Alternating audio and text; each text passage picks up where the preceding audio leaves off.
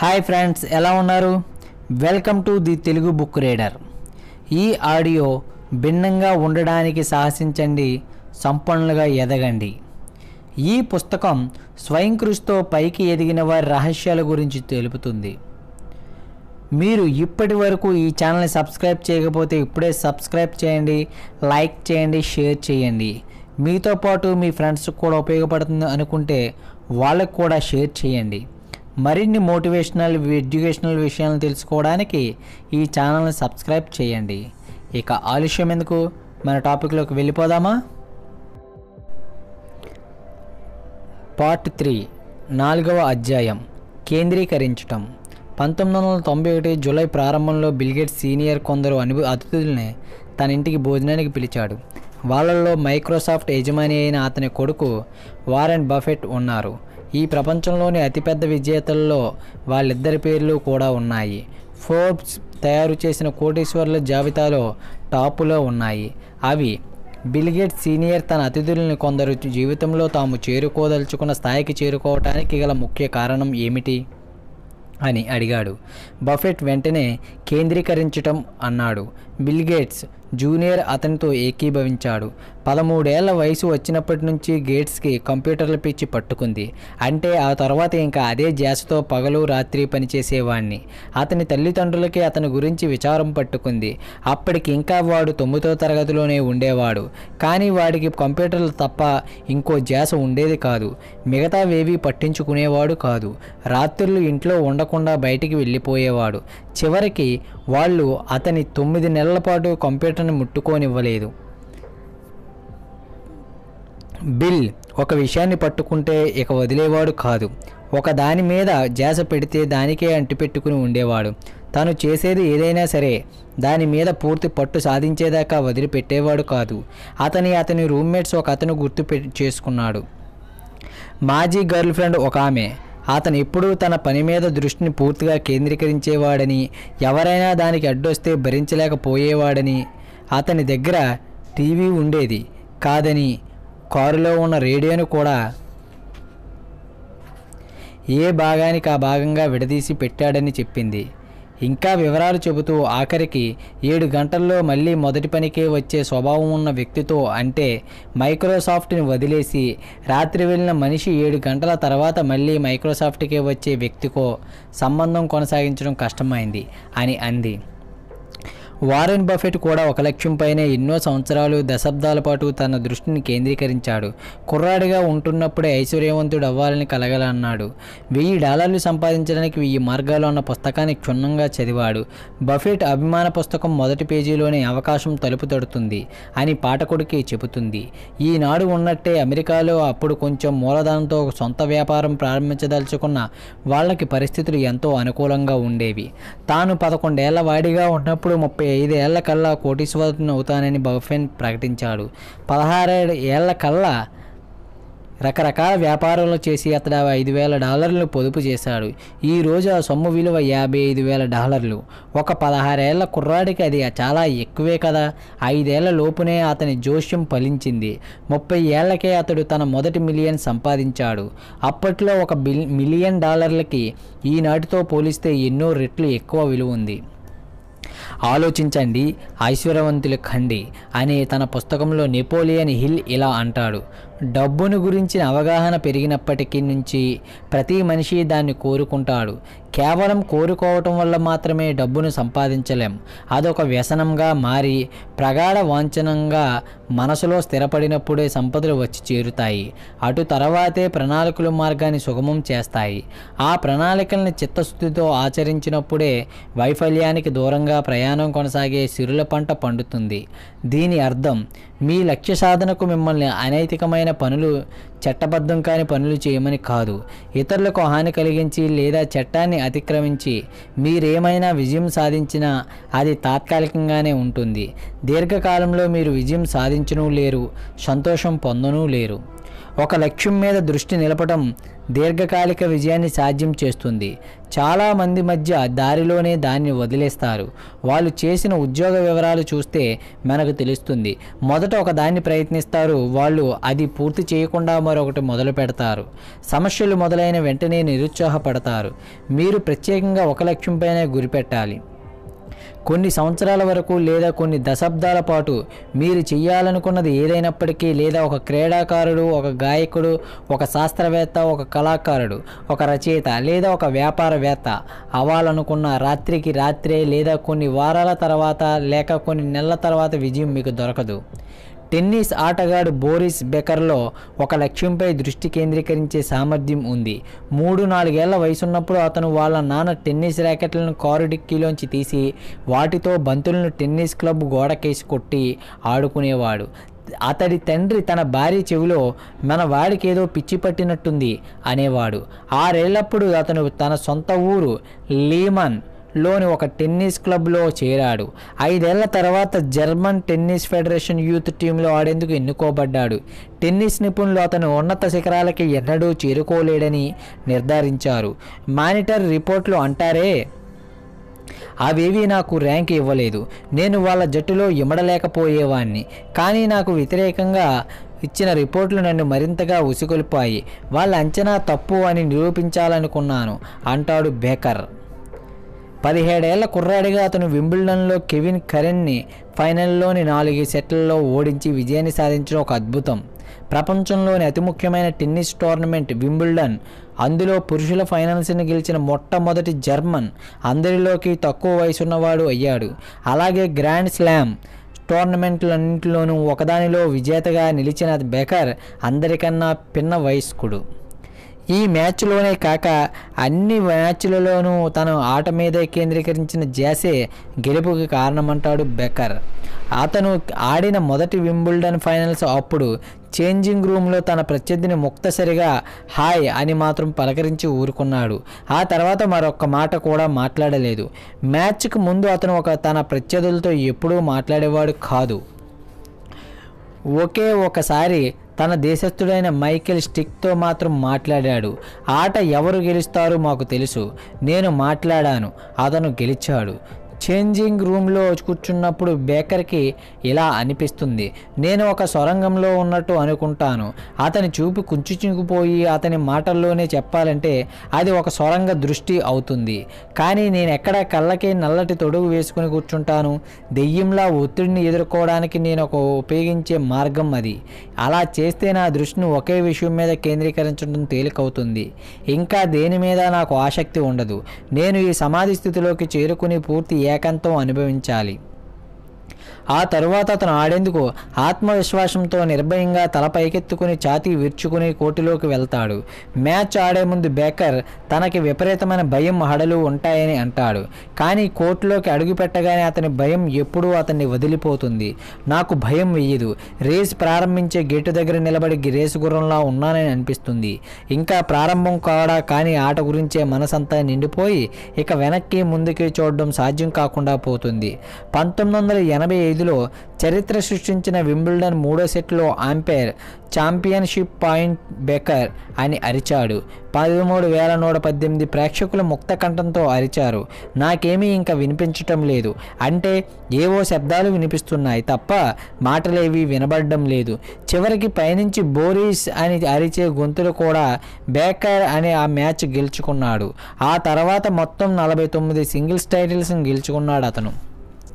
వాటిలో ఆరు grand slam టోర్నమెంట్లు మూడు వింబుల్డన్లో అవి కాక పదిహేను డబుల్స్ టైటిల్స్ను కూడా గెలుచుకున్నాడు. అని అన్ని మ్యాచ్లను గెలవడానికి దోహదం చేసిన మానసిక స్థితిని భావాత్మక స్థితిని బేకర్ ఈ విధంగా వివరిస్తాడు. నేను ఇంకేమీ ఆలోచించను. డైవ్ రూల్ దగ్గర నుంచి ఆ చివర ఉన్న నెట్ దాకా ఊరికే నడిచి వెళ్తాను. నాకు యాంపైర్ మాటలు వినబడవు. స్కోర్ బోర్డు వైపు అసలే చూడను. నేనే స్వయంగా స్కోరు లెక్క పెడతాను. ఈ సీమ ఈ సమాధి లాంటి స్థితి చరమావస్థకి చేరుకోగానే దాన్ని నేను జోన్ అంటాను. నాకు గుర్తుండేది ప్రేక్షకులు మాత్రమే. వాళ్ళు తన పక్షమా కాదా అనేది అతనికి పట్టదు. ప్రతి మ్యాచ్లోనూ ఏదో ఒక పరిస్థితిలో నాకు పెద్ద అడ్డంకి ఎదురయ్యేది. కానీ దాన్ని లగ్గించి ముందుకు వెళ్ళి కలిగాను. చెదరని ధ్యాస సంకల్ప బలం దాన్ని సాధ్యం చేశాయి. దాదాపు మూడు దశాబ్దాల పాటు నాలుగేళ్ళ నుంచి ముప్పై రెండేళ్ళ దాకా ఏకైక లక్ష్యం మీద పూర్తి దృష్టిని కేంద్రీకరించడం వల్లే బేకర్ అన్ని విజయాలను చదివి చవి చూడగలిగాడు. యవ్వనంలో ఉన్నప్పుడు అతను సాకర్ టెన్నిస్ రెండు ఆడేవాడు. ఇప్పుడు వెనక్కి తిరిగి చూసుకుంటే ఆ రెండు ఆటల్లోనూ తనకి సమానమైన ప్రతిభ ఉండేదని అనిపిస్తుందని అన్నాడు.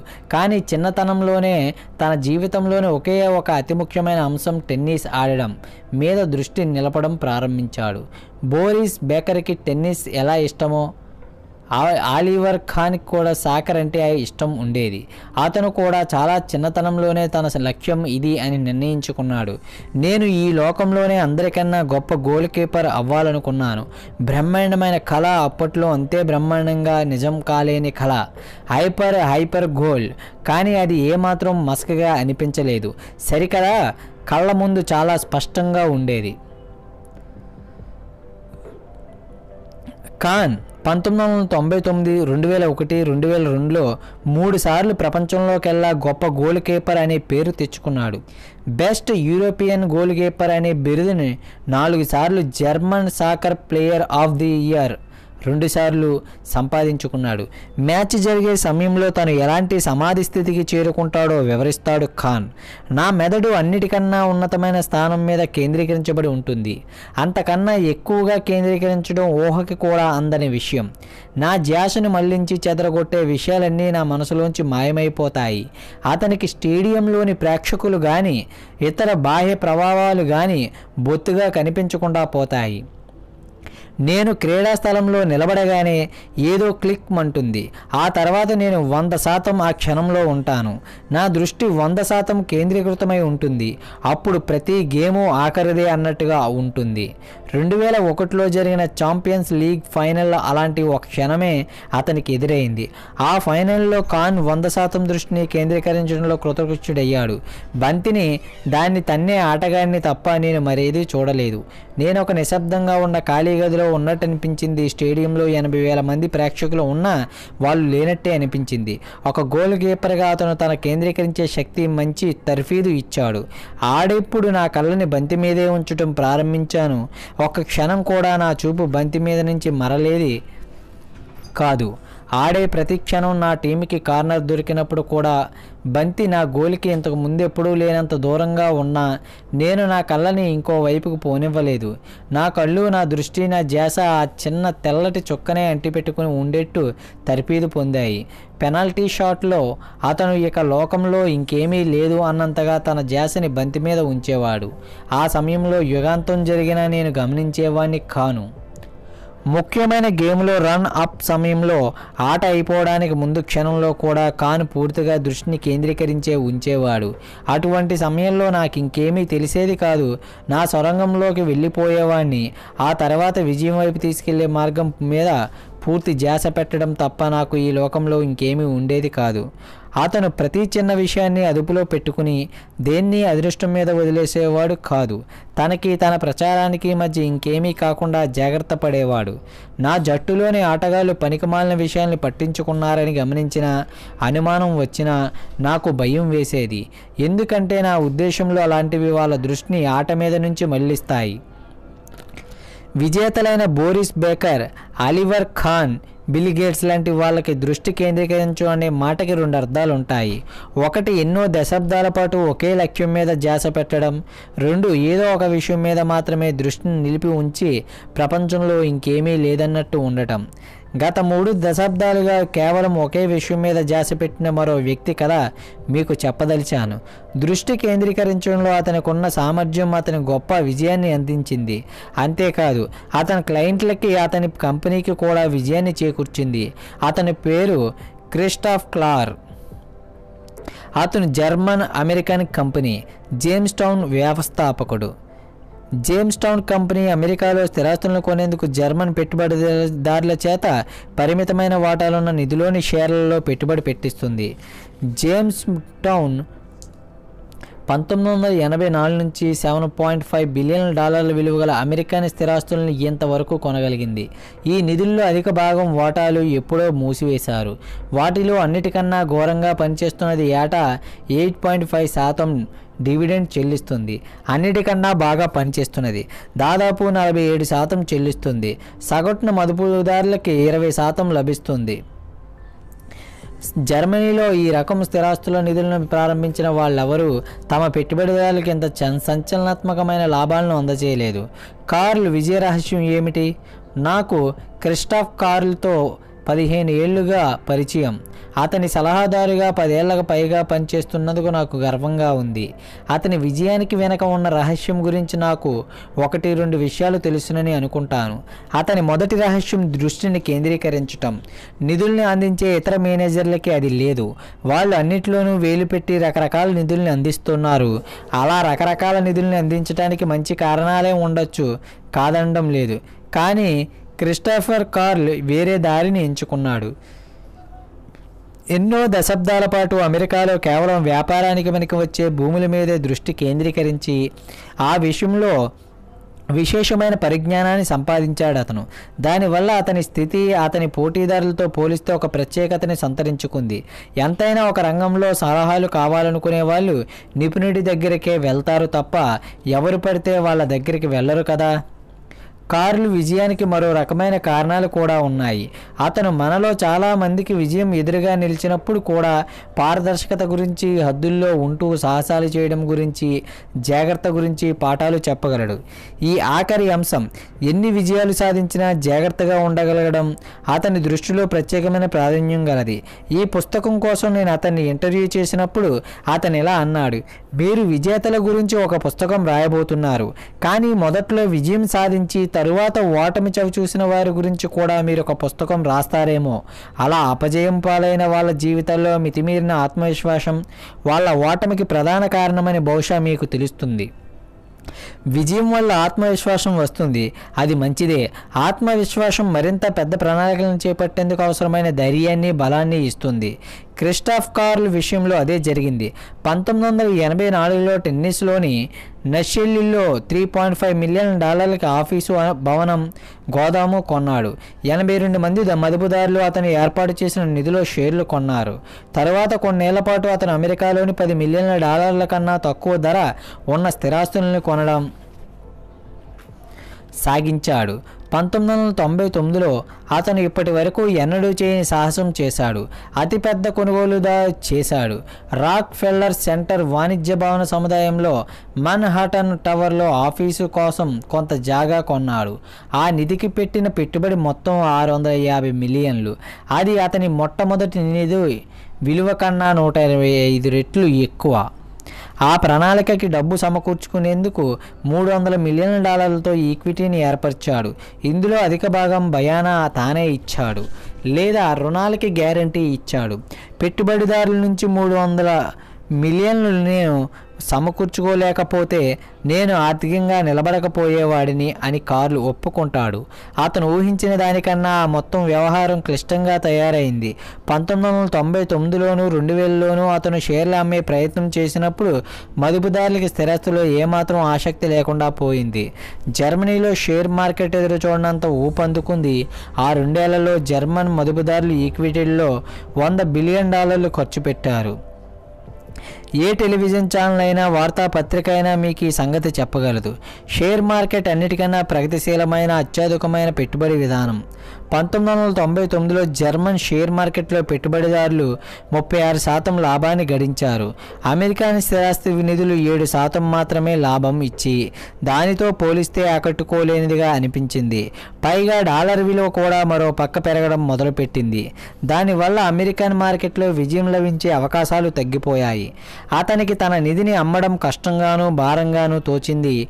పైగా అతను మూడు వే మూడు వందల మిలియన్ల డాలర్లు ఖర్చు పెట్టే సాహసం కూడా చేశాడు. మాట్లాడాయే. ఒక ఉపాయం పనిచేయనప్పుడు మీరు మీ ఊహాశక్తికి పని చెప్పాలి. అప్పుడే ఏదైనా వస్తువుకి నవకల్పన సాధ్యమవుతుంది అంటాడు కార్ల్. తన సమస్యని పరిష్కరించేందుకు అతను మళ్ళీ మదుపు పెట్టడానికి పనికి వచ్చే ఒక నమూనాని కనుక్కున్నాడు. అది ఎంత బాగా పనిచేసిందంటే దాన్ని అతను మళ్ళీ మళ్ళీ ఉపయోగించుకున్నాడు. నిధుల్ని అమ్మడం సులభం అయ్యాక కూడా అతను దాన్ని వాడడం మానలేదు. చివరికి అతను మళ్ళీ నిధిని ప్రారంభించాడు. పెట్టుబడిదారులకి ఏటా ముప్పై నాలుగు శాతం కన్నా ఎక్కువ లాభాలు వచ్చాయి. రెండు వేల ఆరులో దాన్ని మూసివేశారు. ఆ తర్వాత కొన్నేళ్ళ పాటు పెట్టుబడిదారులు తమ ఉత్సాహాన్ని కాస్త తగ్గించుకుని త్వరగా లాభాలు వచ్చే షేరు మార్కెట్ల కన్నా స్థిరాస్తుల మీద ఎక్కువ మోజు చూపించడం మొదలుపెట్టాక కార్లు ఇంకా ఎక్కువ నిధులను అమ్మగలిగాడు. రెండు వేల ఐదులో మన్ హటల్లోని జనరల్ మోటార్స్ బిల్డింగ్లో యాభై శాతం అతను కొనగలిగాడు. అప్పుడు దాని విలువ వన్ పాయింట్ సెవెన్ బిలియన్ డాలర్లు. విజయాలు ఒకదాని వెంట మరొకటి వస్తూ ఉంటే మితిమీరిన ఆత్మవిశ్వాసం కలిగే అవకాశం ఉంది. కార్లు దృష్టిలో విజేతలైన స్త్రీ పురుషులకి ప్రమాదం సృష్టించేది ఇదే. ఆరోగ్యకరమైన ఆత్మగౌరవానికి ప్రమాదకరమైన మితిమీరిన ఆత్మవిశ్వాసానికి మధ్య ఉండేది వెంట్రుకవాసి దూరమే. ఆర్థిక స్వతంత్రం కావాలనుకునే వాడికి అంతులేని లోభత్వానికి ఉన్న చిన్న తేడా లాంటిదే ఇది. అవతలి వాళ్ళు వెలిబుచ్చే విమర్శల్ని వినడం ఆ విమర్శల్ని సరిగ్గా అర్థం చేసుకోవడం సహాయపడతాయి ప్రారంభంలోనే విజయాన్ని సాధించిన చాలామంది తమ చుట్టూ భట్రాజులని పోగు చేసుకుంటారు. జేమ్స్ టౌన్ మేనేజ్మెంట్ సమావేశాలకు ఎన్నోసార్లు వెళ్ళాను. ఈ కంపెనీలోని మేనేజర్లు తమ బాస్ చెప్పిన ఆలోచనల్ని విమర్శించడానికి అంగీకరించకుండా ఉండడానికి ఎంత మాత్రం జంకరని నాకు తెలుసు. నా కంపెనీలో తమ అభిప్రాయాలను మార్చుకోకుండా నాతో ఏకీభవించిన వాళ్ళే పై స్థాయికి చేరుకుంటారు అంటాడు కార్ల్.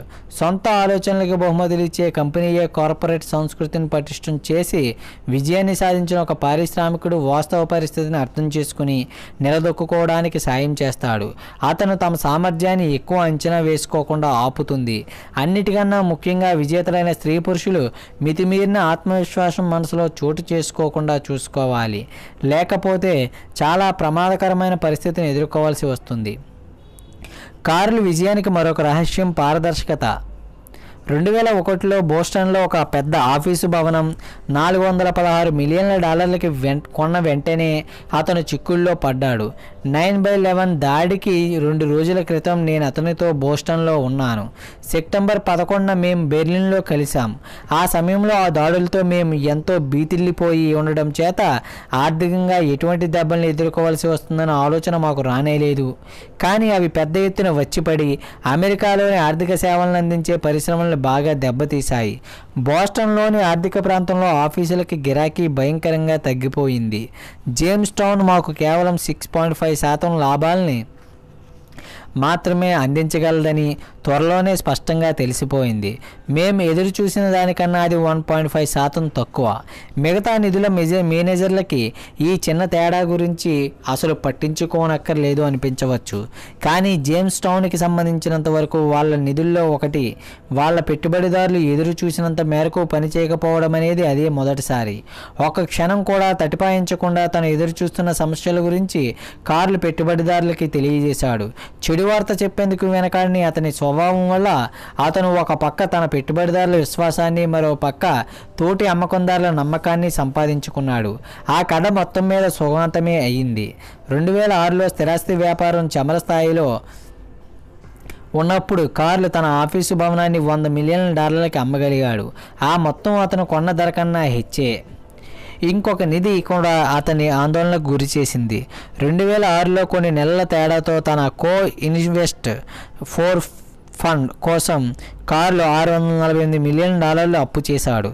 జర్మనీలో నియమిత వాటాలు ఉన్న స్థిరాస్తుల నిధుల్లో కల్లా అదే పెద్దది. కానీ ఆర్థిక సంక్షోభం వల్ల అమెరికాలోని స్థిరాస్తి వ్యాపారం ఘోరంగా దెబ్బతింది.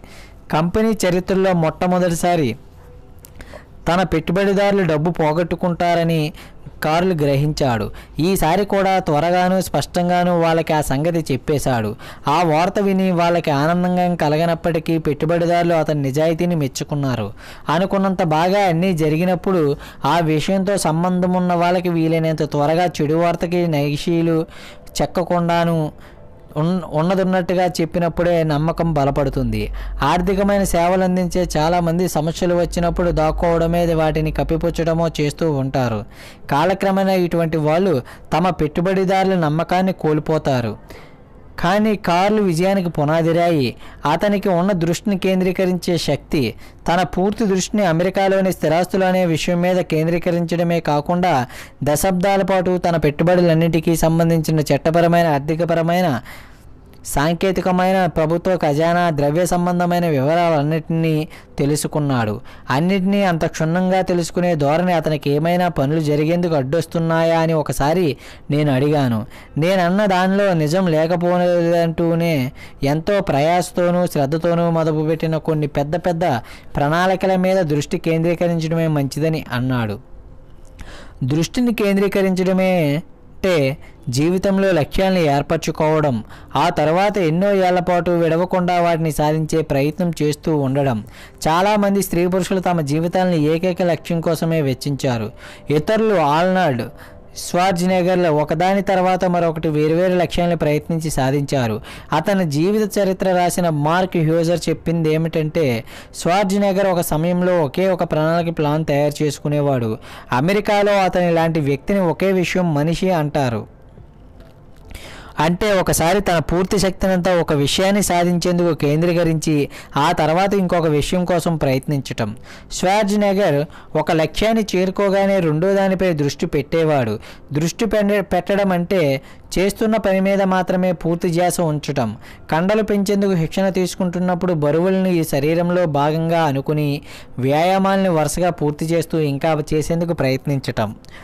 వారెన్ బఫెట్ తను చేసే ప్రతి పని మీద జాస పెడతాడు. బ్రిడ్జి ఆట అతనికున్న సరదాల్లో ఒకటి. బిల్ గేట్స్ అంతకు ముందు ఒకసారి అతని చేత కంప్యూటర్ కొనిపించేందుకు ప్రయత్నించాడు.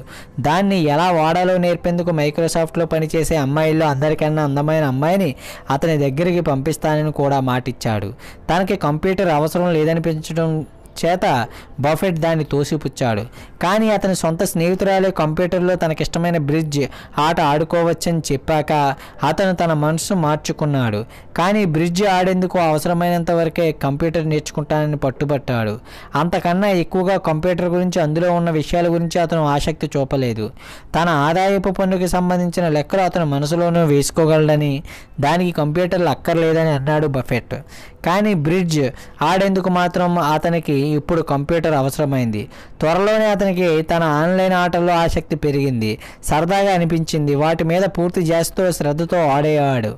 ఇంకేది అతని దృష్టిని ఆకర్షించేది కాదు. ఒకసారి ఒక గబ్బిలం అతని ఇంట్లోకి ఎగిరి వచ్చి అతని గదిలో రెక్కలు టపటపా కొట్టుకోసాగింది. వారిని లోపలికి ఒక గబ్బిలం వచ్చింది. అని అరవడం మొదలుపెట్టింది. అతని గర్ల్ ఫ్రెండ్ కానీ అతను తన ఆటలో నిండా మునిగిపోయి తల తిప్పి కూడా చూడలేదు. అది నమ్మినేమీ ఇబ్బంది పెట్టడం లేదులే అన్నాడంతే. రెండుసార్లు ప్రపంచ చాంపియన్గా పేరు తెచ్చుకున్న షారన్ ఆస్బెర్గ్ దగ్గర కొన్ని రోజులు శిక్షణ పొందాక ఆమెతోనే ప్రపంచ చాంపియన్ బిరుదుకి బఫెట్ పోటీ చేశాడు. ఎన్నడూ ఛాంపియన్షిప్ టోర్నమెంట్లో ఆడని ఎవరికైనా అది చాలా అసాధారణమైన విషయం. బఫెట్ బళ్ళ దగ్గర కూర్చున్నాక గదిలో ఉన్న తన చుట్టూ ఉన్న వాటిని బొత్తిగా పట్టించుకోనట్టు కనిపించాడు. ఆ గదిలో ఉన్నది తనొక్కడే. అయినట్టు మిగతా ఆటగాళ్ళందరూ అతని కన్నా చాలా అనుభవం ఉన్నవాళ్ళు. కానీ అతను చాలా ప్రశాంతంగా తన ఇంట్లో కూర్చుని ఆడుతున్నట్టు పూర్తిగా దృష్టిని కేంద్రీకరించగలిగాడు. ఆడడంలోని ఆ తీవ్రత అతని బలహీనతని అధిగమించింది. అంటాడు అతని జీవిత చరిత్ర రాసిన రచయిత. ఒక లావుగా ఉన్న వెయిర్ వెయిట్ లిఫ్టర్ చేయలేని పని సన్నగా ఉండే కరాటే క్రీడాకారులు వరుసగా పేర్చిన ఇటుకలను పగలగొట్టడం లాంటిది. చేయగలడానికి ఈ తీవ్రతే కారణం. దృష్టి కేంద్రీకరించడం అనేది రుణ విద్యలు ప్రదర్శించే కళాకారులు క్షుణ్ణంగా నేర్చుకునే విద్య. వాళ్ళు జ్ఞానం సాయంతో దాన్ని నేర్చుకుంటారు. కండరాలు పెంచేవారి బలానికి అది ప్రత్యామ్నాయంగా పనిచేస్తుంది. అందరినీ ఆశ్చర్యపరుస్తూ అతను ఆడిన మొట్టమొదటి టోర్నమెంటులోనే బ్రిడ్జ్ త ప్రపంచ ఛాంపియన్షిప్ ఫైనల్స్కి బఫెట్ ఎన్నుకోబడ్డాడు. కానీ అతను సామాన్యంగా మనుషులకు అసాధ్యమనిపించేంత ప్రయత్నం అందులో చేశాడు. దాని ప్రభావం ఊరికే పోలేదు. అంత తీవ్రంగా దృష్టి కేంద్రీకరించడం వల్ల అతను ఫైనల్స్లో ఆడలేనంతగా డస్సిపోయి పూర్తిగా ఆడలేకపోయాడు.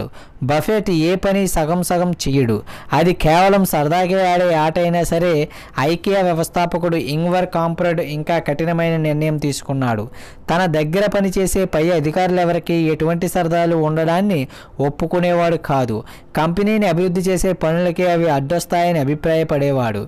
వాళ్ళు అసలు లక్ష్యాన్ని సాధించేందుకు దృష్టి కేంద్రీకరించకుండా చేస్తాయని అనుకున్నాడు. ఒకసారి టెలివిజన్కి ఇచ్చిన ఇంటర్వ్యూలో అతను ఇలా అన్నాడు? ఎంతో ఉత్సాహంగా పనిచేసే నా సిబ్బందికి కంపెనీ వ్యవహారాల్లో తప్ప ఇంకెటువంటి పెద్ద విషయాల్లో కానీ అభిరుచుల్లో కానీ ఆసక్తి ఉండకూడదని అనుకుంటాను. అయినా ఈ విషయం గురించి భిన్నాభిప్రాయాలు ఉన్నాయి. ఒకవైపు దృష్టి కేంద్రీకరించడం ముఖ్యమైన ఒప్పుకోవాలి. ఇతర విషయాలకు ఎక్కువ సమయం కేటాయించడం వల్ల మీరు ఎంచుకున్న లక్ష్యాన్ని చేరుకోవడంలో అడ్డంకి రావచ్చు. మరోవైపు ఒకటి రెండు ఇతర వ్యాపకాలు ఉంటే కోల్పోయిన ఉత్సాహాన్ని మళ్ళీ పొందొచ్చు. బ్యాటరీ రీఛార్జ్ చేసినట్టు అలాగే మీకు మీ లక్ష్యం గురించిన అవగాహన పెరుగుతుంది. బ్రిడ్జ్ ఆడడం ఆ విధంగా బఫెట్కి లాభించినట్టే. క్రీడలకి సంబంధించిన ఒక ప్రసిద్ధ మనస్తత్వవేత్త ఈ విషయాన్ని వివరించాడు. మిగతా జట్లతో పాటు జర్మన్ సాకర్ జట్టును కూడా ఆయనే పర్యవేక్షించాడు. ఒక సమాంతర ప్రపంచాన్ని గొప్ప క్రీడాకారులందరూ సృష్టించుకోవాలని ఇందులో మునిగిపోయిన వాళ్ళు గురైన విపరీతమైన మానసికమైన ఒత్తిడిని తట్టుకునేందుకు లేదా తప్పించుకునేందుకు అది చాలా ముఖ్యమని అంటాడు ఆయన. ఇంకో పని మీదకి దృష్టి మళ్ళించగానే మొదటి విషయాన్ని మర్చి వెంటనే మర్చిపోవడం సులభం అవుతుందంటాడు ఫ్లో స్టేట్ అనే మానసిక స్థితి ఒకటి ఉంటుందని మీకు తెలుసా? అంటే మీ మొత్తం ధ్యాసను ఒకే ఒక విషయం మీద కేంద్రీకరించటం ఒక ఆలోచన లేదా పనితో మమేకం చెందటము చుట్టూ ఉన్న ఇతర విషయాలు ఏవి మీకు తెలియవని ఒక స్థితికి చేరుకోవటం. విజేతలైన స్త్రీ పురుషుల్లో మిగతా వాళ్ళకన్నా ఎక్కువసేపు ఎక్కువ తీవ్రంగా ఎలా దృష్టిని కేంద్రీకరించే ప్రతిభ ఉంటుంది. మనలో చాలామంది ఏదైనా విషయం మీద ఎయిటీ శాతం దృష్టి కేంద్రీకరించగలుగుతాం. అది పని కావచ్చు చదువుకోవడం కావచ్చు లే కానీ మనం అదే సమయంలో మరో పక్క ఇంకేవో విషయాల గురించి ఆలోచిస్తూ ఉంటాం. తర్వాత ఏం చేయబోతున్నాం? ఈరోజు ఏ పనిని అసంపూర్తిగా వదిలేసాం నిన్న ఏం జరిగింది? అయినప్పటికీ ఎనభై శాతం దృష్టి కేంద్రీకరించే వాళ్ళు తాము సాధించదలిచిన విషయంలో ఎనభై శాతం ఫలితాలు పొందరు. ముప్పై శాతమో నలభై శాతమో పొందగలరు. అందుకే విజయం సాధించేందుకు దృష్టిని కేంద్రీకరించగల సామర్థ్యము కలిగి ఉండడం అంత ముఖ్యం. నిరంతరం ఎవరో ఒకరు అడ్డు తగులుతూ ఉంటే ఒక రచయిత కానీ పాత్రికేయుడు కానీ మంచి రచనని సృష్టించలేడు. బాగా రాయాలంటే చేస్తున్న పని మీద పూర్తిగా ధ్యాస పెట్టాలి. ఫోన్లు ఈమెయిల్స్లు కబుర్లు చెప్పేందుకు మీ దగ్గరకు వచ్చే తోటి ఉద్యోగులు మీ దృష్టిని చెదరగొట్టకుండా జాగ్రత్త పడండి. నా ఉపన్యాసాల్లో ఈ విషయాన్ని నేను వివరించినప్పుడల్లా శ్రోతల్లో ఎవరో ఒకరు తమ క్లయింట్కి మిగతా వారికి తాము ఎప్పుడూ అందుబాటులో ఉంటూనే ఉండాలని అంటారు. అది నిజమే కావచ్చు కానీ ఫైర్ ఇంజన్ల సంస్థలోనూ అంబులెన్సుల్లోనూ పనిచేసే వారికి మాత్రమే అది వర్తిస్తుంది. సామాన్యంగా ఫోన్ చేసిన వాళ్ళకి మీరు తిరిగి ఫోన్ చేసే లోపల కొన్ని గంటలు గడిచినంత మాత్రాన కొంపలు అంటుకుపోవు. ఎవరూ ఎక్కువ రక్తం కారడం వల్ల చనిపోరు. సాకర్ ఆటగాడు మ్యాచ్ ఆడుతూ ఆట మధ్యలో తన ఆదాయ పన్ను మదించే అకౌంటెంట్తో మాట్లాడేందుకు ఒక పక్కకి పరిగెత్తుకుపోవడం మీరు ఊహించగలరా? లేదు కదా. అసలు ఆటగాళ్ళు గొప్ప విజేతలు చేసే పనే చేస్తారు. ఒకే ఒక విషయం మీద వంద శాతం ధ్యాస పెడతారు. ఆటగాళ్ళ ధ్యాస గెలవడం మీద ఉంటుంది. ఆ తర్వాత వాళ్ళకి ఫోన్లు చేసిన వాళ్ళకి ఫోన్లు చేసి మాట్లాడతారు. సెల్ ఫోన్ల వల్ల ఈమెయిల్స్ వల్ల ఈ యుగంలో సమాచారం విపరీతంగా పెరిగిపోయింది. అందుకే మీరు నిర్ణయించుకున్న కార్యక్రమం ప్రకారం పనులు చేసుకోవడం అలాంటి పరిస్థితిని స్వయంగా సృష్టించుకోవడం మునపటి కన్నా ముఖ్యం అయ్యింది. చివరికి మీకున్నవి రెండే మార్గాలు. మీకు మీరే బాస్గా ఉంటూ మీ లక్ష్యాలని ప్రాధాన్యతల్ని మీరే నిర్వహించుకోవడం లేదా ఎవరి ఆజ్ఞనైనా పాటించటం ఒక ఉద్యోగిగా కూడా మీరు ప్రాధాన్యతల్ని మీరు పనిచేసే తీరుని ఇప్పుడు చేస్తున్నట్టు కోకుండా మీరే నిర్ణయించుకునే వెసులుబాటు బహుశా మీకు ఉంటుంది రోజంతా పనిచేశాక ఆఖరికి మీరు సాధించిన ఫలితాలే తప్ప మీరు ఎన్ని రకాల పనులు ఒకే సమయంలో చేయగలగలన్నది లెక్కలోకి రాదు. ఒకసారి మీ లక్ష్యాలని మిమ్మల్ని దగ్గరగా తీసుకెళ్ళేవి ఏవి అనే అంశాలని ఖచ్చితంగా గుర్తించాక మీరు చేయవలసింది ఆ అంశాల మీద మీ పూర్తి దృష్టిని కేంద్రీకరించడమే. దృష్టి కేంద్రీకరించటం అనేది మనలో ఎవరికీ పుట్టుకతో వచ్చే విద్య కాదు. దాన్ని నేర్చుకోవచ్చు. మనమందరం ఎక్కువ విషయాల మీద ఆసక్తి చూపించడానికే ఇష్టపడతాం. మన ప్రాధాన్యాలు ఏమిటో గుర్తించాం. పనికి మాలిన విషయాల్ని పట్టించుకుంటాం. అప్పుడప్పుడు ఒక అడుగు వెనక్కి వేసి మన జీవితాల్ని నిశిత దృష్టితో పరిశీలించటం అవసరం. మిమ్మల్ని మీరు ఇలా ప్రశ్నించుకోండి. నేను నిజంగా ముఖ్యమైన పనులే చేస్తున్నానా అని నన్ను నా లక్ష్యం దాకా తీసుకువెళ్తాయా? లేక చివరికి నాకు ఏవో చిన్న చిన్న ఫలితాలనిచ్చే చిల్లర మల్లర పనులతో కాలాన్ని వృధా చేస్తున్నానా? చాలా ఏళ్ళ పాటు ఏదో ఒక లక్ష్యం మీద కు- కానీ కొన్ని లక్ష్యాల మీద కానీ పరిమితం కానీ దృష్టి పెట్టగల వాళ్ళు మాత్రమే. అది కూడా నిరంతరం వంద శాతం జాస పెట్టగల వాళ్ళు మాత్రమే పెద్ద పెద్ద లక్ష్యాల్ని సాధించగలుగుతారు.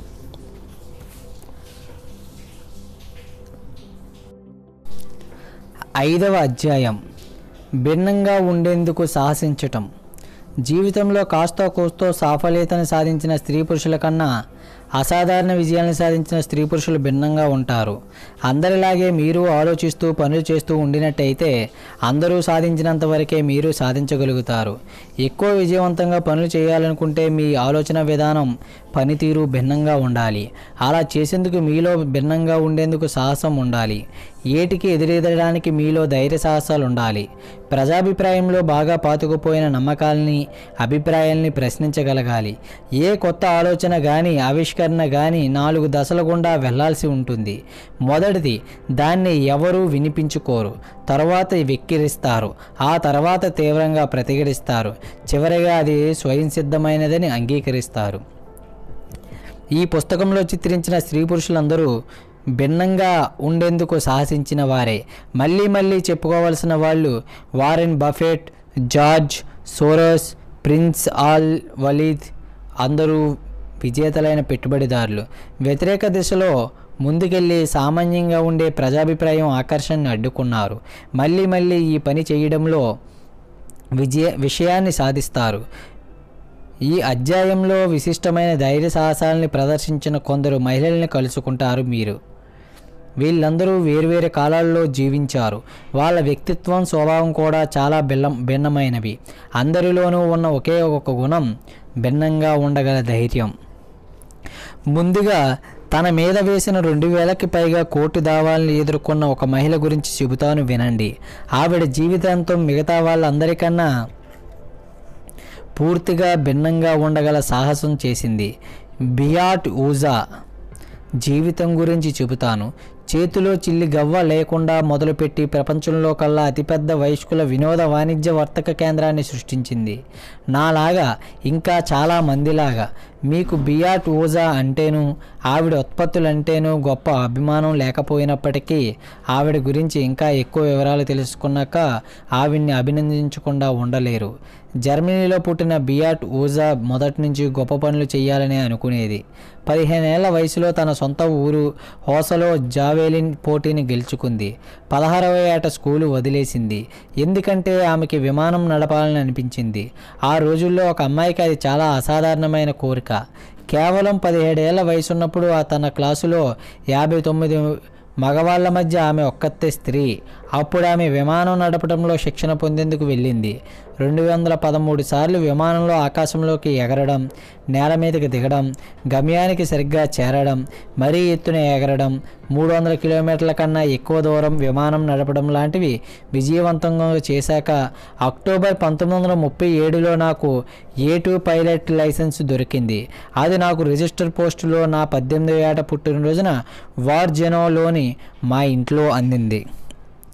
ఆగస్టు పంతొమ్మిది వందల ముప్పై ఎనిమిదిలో ఆవిడ గాలిలో విన్యాసాలు చేసే పైలట్ పరీక్ష పాస్ అయ్యింది అంతకు నెల క్రితం మహిళా ఔచాసిక పైలట్లకు ఇచ్చిపెట్టిన టెస్ట్లో ఫ్లైట్లలో రెండవ స్థానాన్ని సంపాదించుకుంది. మూడు వారాల తర్వాత బెల్జియంలోని ఎయిర్ రేస్లో తన తరగతిలో మొదటి స్థానాన్ని మొత్తం మీద రెండో స్థానాన్ని సంపాదించుకుంది. బ్యూకర్ విమానాల కార్జానాల్లో ఆమెకు ఉద్యోగం ఇస్తానన్నప్పుడు ఆమె తండ్రి విపరీతమైన విభ్రాంతికి గురయ్యాడు. రెండు వేల మంది పురుషులు ఉత్పత్తి విభాగంలో పనిచేసే ఆ ఫ్యాక్టరీలో తన కూతురు ఒక్కతే. ఏకైక మహిళగా పనిచేయడం ఆయనకి ఎంత మాత్రం నచ్చలేదు. విన్యాసాలు చేసేందుకు పైలట్లు అవసరమయ్యి బియాట్ ఊజా పనిచేసే కంపెనీకి యూఎఫ్ఏ నిర్మాతల బృందం వచ్చింది. తను అమితంగా ఆరాధించే హాంజ్ ఆల్బర్జ్ అనే అధినేత కోసం విమానంలో విన్యాసాలు చేయమని ఆమెని కోరారు. జాగ్రత్త నేను వస్తున్నాను అనే పాత్రలు వేస్తూ ఉంటాడు ఆల్బర్జ్. యుద్ధం ముగింపుకు చేరుకున్న రోజుల్లో ఆమె లుఫ్ట్ వాఫా విమానంలో వాయుసేనని వాయు విమానంలో దాటించే పని చేసింది. ఏప్రిల్ ఇరవై రెండు పంతొమ్మిది వందల నలభై ఐదులో రెడ్ ఆర్మీ జర్మన్ రాజధాని బెర్లిన్ని అతి ఆక్రమించినప్పుడు అక్కడి నుంచి విమానంలో బయటపడిన ఏకైక మహిళ ఆమె. ఉదయం ఐదు గంటల యాభై ఐదు నిమిషాలకి మోహం మేం మా అదృష్టాన్ని పరీక్షకు పెట్టాం. విమానంలో ఉండవలసిన వాళ్ళకన్నా ఎక్కువ మందే ఉన్నాం. ఆవిడ విమానానికి గుండె దెబ్బ తగిలిన దెబ్బతిన్నది సున్ నున్నగా ఉన్న విమానం బయట కింది భాగం మాత్రమే. మా విమానం నెమ్మదిగా పైకి లేచింది. విసుగొచ్చేంత నెమ్మదిగా కానీ మేము శత్రువులు ముట్టడించిన ఆ నగరం నుంచి తప్పించుకున్నాం. విమానం ఎక్కి బయటపడిన వాళ్ళలో మేమే ఆఖరి వాళ్ళం. యుద్ధం అయిపోయాక ఆమె పిఓడబ్ల్యూ క్యాంపులో తన కొడుకుతో సహా బందీ అయ్యింది. ఆమెకి ఇరవై నాలుగవ ఏట పంతొమ్మిది వందల నలభై మూడులో ఆ పిల్లవాడు పుట్టాడు. వాడు పుట్టిన కొన్నేళ్ళకే ఆమె భర్త విమానం కూలి ప్రమాదంలో చనిపోయాడు. యుద్ధ ఖైదీగా ఉన్నప్పుడే ఆమె ఒక ప్రమాదంలో తీవ్రంగా గాయపడింది. ఉద్యోగం లేదు డబ్బు లేదు తల్లిదండ్రులు లేరు భర్త లేడు ఇల్లు వాకిలి ఏమీ లేవు. ఇక ఒకప్పుడు జీవితాంతం ఆవిటిదానిలా గడపాల్సి రావచ్చు. యుద్ధంలో బతికి బయటపడి శాంతి నెలకొన్న మూడు రోజులకి ఇలాంటిది జరగడానికైనా నా మనసులో ఇదొక వినాశనం అనుకున్నాను. నన్ను నా పిల్లవాడిని ఎలా పోషించుకుంటాను అని వాపోయింది ఆమె ఇది జరిగిన కొన్నాళ్ళకి ముగ్గురు స్నేహితురాలు సాయం కోరుతూ ఆమె దగ్గరికి వచ్చారు. యుద్ధం ముగిసి భర్తలు వెనక్కి రాగానే ముగ్గురు గర్భం దాల్చారు. యుద్ధం అయిపోయిన వెంటనే నెలకొన్న భయంకరమైన పరిస్థితుల్లో అందరూ మనుగడ కోసం తలకిందులవుతున్న సమయంలో చాలామంది భార్యాభర్తలు పిల్లలు వద్దనుకున్నారు. గర్భాన్ని ఎలా నిరోధించాలని తెలుసుకోవాలనుకున్నారు. కాండోమ్స్ ఆ రోజుల్లో దొరికేవి కావు. గర్భ నిరోధక మాత్రలు మరో పదిహేనేళ్ళకి కానీ తయారవ్వలేదు. బియాట్ ఊజా తన టైప్ మిషన్ ముందు కూర్చుని ఒక కరపత్రాన్ని తయారు చేసింది. దానికి ఏం పేరు పెట్టాలో తట్టక స్క్రిప్ట్ డాక్యుమెంట్ అని పేరు పెట్టింది. అందులో నాస్ ఓగేనో గర్భ నిరోధక పద్ధతిని వివరించింది. బహిష్టు తాలూకు వివిధ దశల మీద ఆధారపడే పద్ధతి అది. ఐదు పౌండ్లు వెన్న ఇస్తానంటే ఒక ప్రింటర్ రెండు వేల కాపీలు ఇవ్వడానికి పదివేల కాపీలు ప్ర ప్రచారానికి గాను పంచిపెట్టేందుకు ఒప్పుకున్నాడు. అంతా ప్రణాళిక ప్రకారమే జరిగింది. ద్రవ్య విధానంలో సంస్కరణలు వచ్చాక తన కరపత్రాన్ని ఒక్కొక్క దాన్ని ఒక డోయిచ్ మార్క్కి అమ్మింది. ఆమెకి బోలెడన్ని ఆర్డర్లు వచ్చాయి. పంతొమ్మిది వందల నలభై ఏడులో ఆమె అప్పటికే ముప్పై ఏడు వేల వేల కాపీలని విపరీతంగా అమ్మింది. రాను రాను ఇంకా ఎక్కువ మంది యుద్ధానికి ముందు దొరికిన వస్తువుల్ని నేను వాళ్ళకి అందించలేనా? అని అడుగుతూ రాయసాగారు. అంటే కండోములు లైంగిక విజ్ఞానాన్ని అందించే పుస్తకాలు వాండా వెల్డ్ రాసిన నిర్భయంగా సాగించే దాంపత్య జీవితం ప్రేమ లాంటి పుస్తకాలు. నేను ఈ వ్యాపారం మొదలుపెట్టినప్పుడు అభం శుభం తెలియని అమాయకురాల్ని. తన కొత్త కంపెనీ ద్వారా ఆమె కండోములు లైంగిక విజ్ఞానాన్ని అందించే పుస్తకాలు అమ్మడం మొదలుపెట్టింది. నాకు పూట గడవడమే కష్టంగా ఉండేది. కాస్త డబ్బు చేతిలో ఆడగానే ప్రచారానికి పనికొచ్చే కొత్త విషయాలను అచ్చువేయించేదాన్ని. టెలిఫోన్ డైరెక్టరీలో ఉన్న చిరునామాలు రాసుకుని మేము తయారు చేసే వస్తువుల వివరాలు తెలిపేందుకు వాళ్ళకి ఉత్తరాలు రాసేదాన్ని. ఆమెతో కొత్తగా చచ్చి వచ్చి చేరిన భాగస్వామి చాలా సహకరించేవాడు. రష్యాలో ఖైదీలో తనకి జరిగిన భయంకరమైన అనుభవాల గురించి నాకు చెప్పాడు. పిచ్చెక్కకుండా ఉండేందుకు తనను మనసుని పూర్తిగా ఒకే ఒక విషయం మీద కేంద్రీకరించానని అన్నాడు. తన ఊహల్లో అతను ఒక మెయిల్ ఆర్డర్ వ వ్యాపారాన్ని స్థాపించి నడిపించాడు. వయస్కుల వినోదానికి సంబంధించిన వ్యాపారంలో ప్రవేశించాలని అతను ఎన్నడూ అనుకోనప్పటికీ అతను తలనూనెలు అమ్మాలని అనుకున్నాడు. కొత్త కంపెనీ అతని ప్రణాళికల వల్ల ఖచ్చితంగా లాభం పొందింది. అయినా ఆ రోజుల్లో లైంగిక విషయాల గురించి మాట్లాడడమే నిషిద్ధంగా ఉండేది. కొద్ది రోజుల్లోనే ఓజని మొట్టమొదటిసారి పోలీసులు వచ్చి కలవమని కబురు పంపారు. మే నెల ఇరవై ఐదవ తేదీన నీ అంతటి నువ్వే ఫలానా ప్రొఫెసర్కి బూతు సమాచారం ఉన్న ఒక కరపత్రాన్ని పంపావు. ఎందుకు?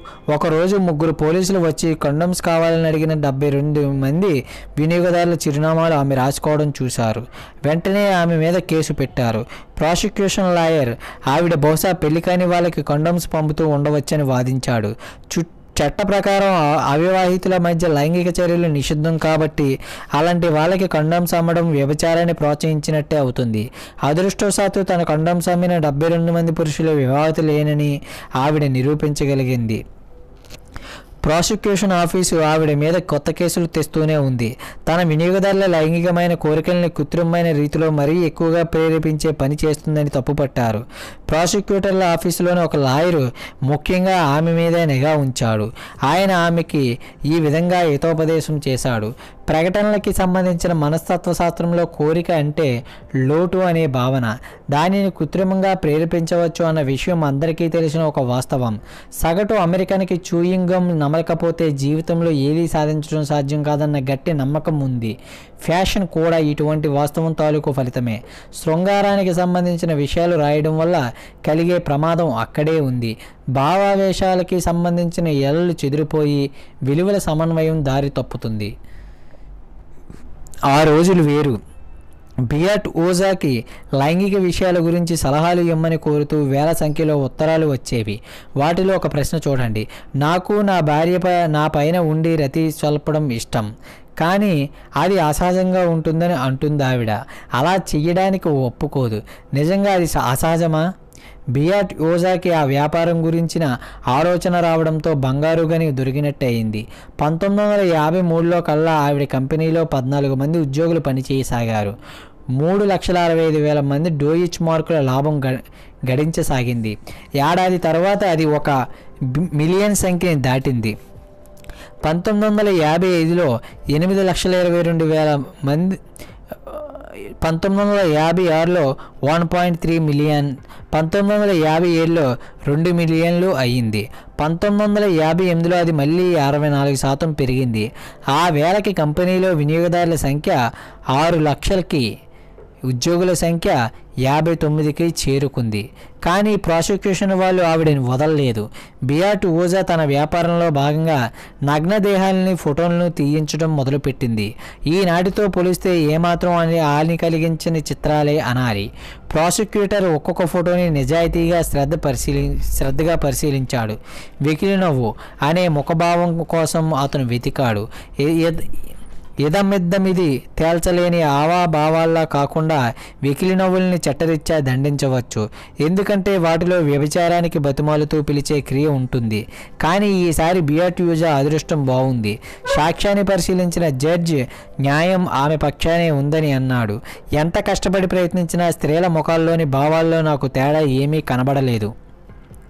క్యాథలిక్ చర్చ్ కూడా బియాట్ ఊజాకి వ్యతిరేకంగా మండిపడింది. అనవసరంగా ఎవరూ కోరుకుండానే అనైతికమైన సమాచారాన్ని అందిస్తున్నందుకు ఆవిడ మీద దోషారోపణ చేస్తూ రాయమని కోన్లోని బిషప్ తన చర్చికి వచ్చే వాళ్ళకి ఫారాలు పంచిపెట్టాడు. ఒక అభియోక్త తన యాతనని ఇలా చెప్పుకున్నాడు. నేను ఇంటికి రాగానే హాలులో ఒక ఉత్తరం కనిపించింది. దాన్ని ముట్టుకోగానే అది పాపిష్టి దాన్ని అనిపించింది నాకు. పాపిష్టి దాన్ని ముట్టుకుంటే ఎలా అనిపిస్తుంది అని తెలియజెప్పమన్నాడు జడ్జి. అది అది తెలిసిపోతుంది. ఉత్తరం తెరవగానే దాని నిండా చండాలం కనిపించింది. వెంటనే దాన్ని చెత్త కుప్ప మీద పారేశాను. అయినా అభియోక్త ఉత్తరంలో ఏముందో చూడను కూడా చూడకుండా అందులోని విషయాల్ని కోపగించకుండా సరికాదని జడ్జి వాదించాడు. ఎనభై రెండు ఆరోపణల నుంచి బియాటోజా ఓజా నిర్దోషిగా బయటపడింది. పంతొమ్మిది వందల అరవై రెండులో బియాటోజా వివాహ సంబంధంలో పరిశుభ్రత నిపుణుల దుకాణం ఉత్తర జర్మనీలోని ఫ్లెన్స్బర్గ్ అనే నగరంలో తెరిచింది. ప్రపంచంలోనే శృంగార సంబంధమైన వస్తువుల్ని అమ్మే మొట్టమొదటి దుకాణం అది. ఫ్లెన్స్బర్గ్లోని పెద్ద మనుషులు దాన్ని వ్యతిరేకిస్తారన్న భయంతో క్రిస్మస్ పండగ దగ్గర పడేదాకా ఆగింది. ప్రశాంతంగా జరుపుకునే ఆ పండగ రోజుల్లో జనం తీవ్రంగా ప్రతిఘటనకు దిగరని ఆమె అనుకుంది. ఆ తర్వాత కొన్నేళ్ళ పాటు ఆమె మిలియన్లకి మిలియన్లు సంపాదించి ప్రపంచంలోని ఇతర దేశాలకు కూడా తన వ్యాపారాన్ని విస్తరింపజేసింది. పంతొమ్మిది వందల తొంభై మే నెలలో ఆమె తన కంపెనీ షేర్లని పబ్లిక్ ఇష్యూ ద్వారా విక్రయించడానికి ప్రయత్నించినప్పుడు జనం వాటి కోసం ఎగబడ్డారు. ఐపీఓని నిర్వహించిన కామర్స్ బ్యాంకు గడువు తేదీని నాలుగు రోజులు ముందుకు జరపవలసి వచ్చింది. అయినప్పటికీ ఆ షేర్లు అరవై మూడు రెట్లు ఓవర్ సబ్స్క్రిప్షన్ అయ్యి మొట్టమొదటి రోజునే ఎనభై శాతం పెరిగాయి.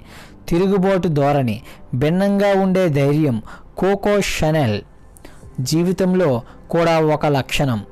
ఫ్రెంచ్ ఫ్యాషన్ డిజైనర్ పంతొమ్మిది పద్దెనిమిది వందల ఎనభై మూడులో గ్రేబ్రియల్కి షనెల్ జన్మించింది. ఇల్లిల్లు తిరిగి అమ్మకాలు చేసుకునే ఒక వ్యక్తికి పుట్టిన అక్రమ సంతానం ఆమె. రెండేళ్ళ వయసులో తల్లిని కోల్పోయి ఒక అనాథాశ్రమంలో పెరిగింది.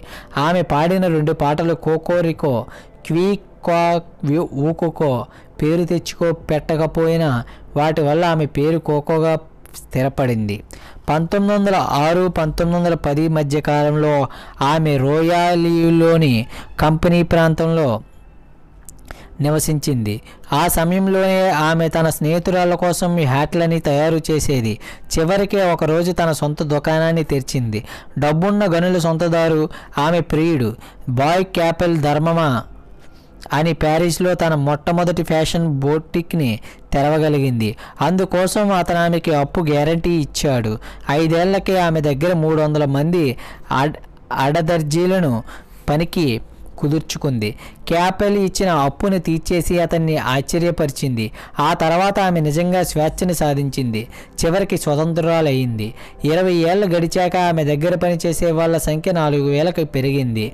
ప్రపంచమంతటా క్యాట్ వాక్ దుస్తులు అమ్మసాగింది. పంతొమ్మిది వందల యాభై ఐదులో ఇరవయో శతాబ్దంలో అందరినీ అత్యధికంగా ఆకట్టుకున్న ఫ్యాషన్ డిజైనర్గా ఫ్యాషన్ ఆస్కర్ అవార్డును అందుకుంది.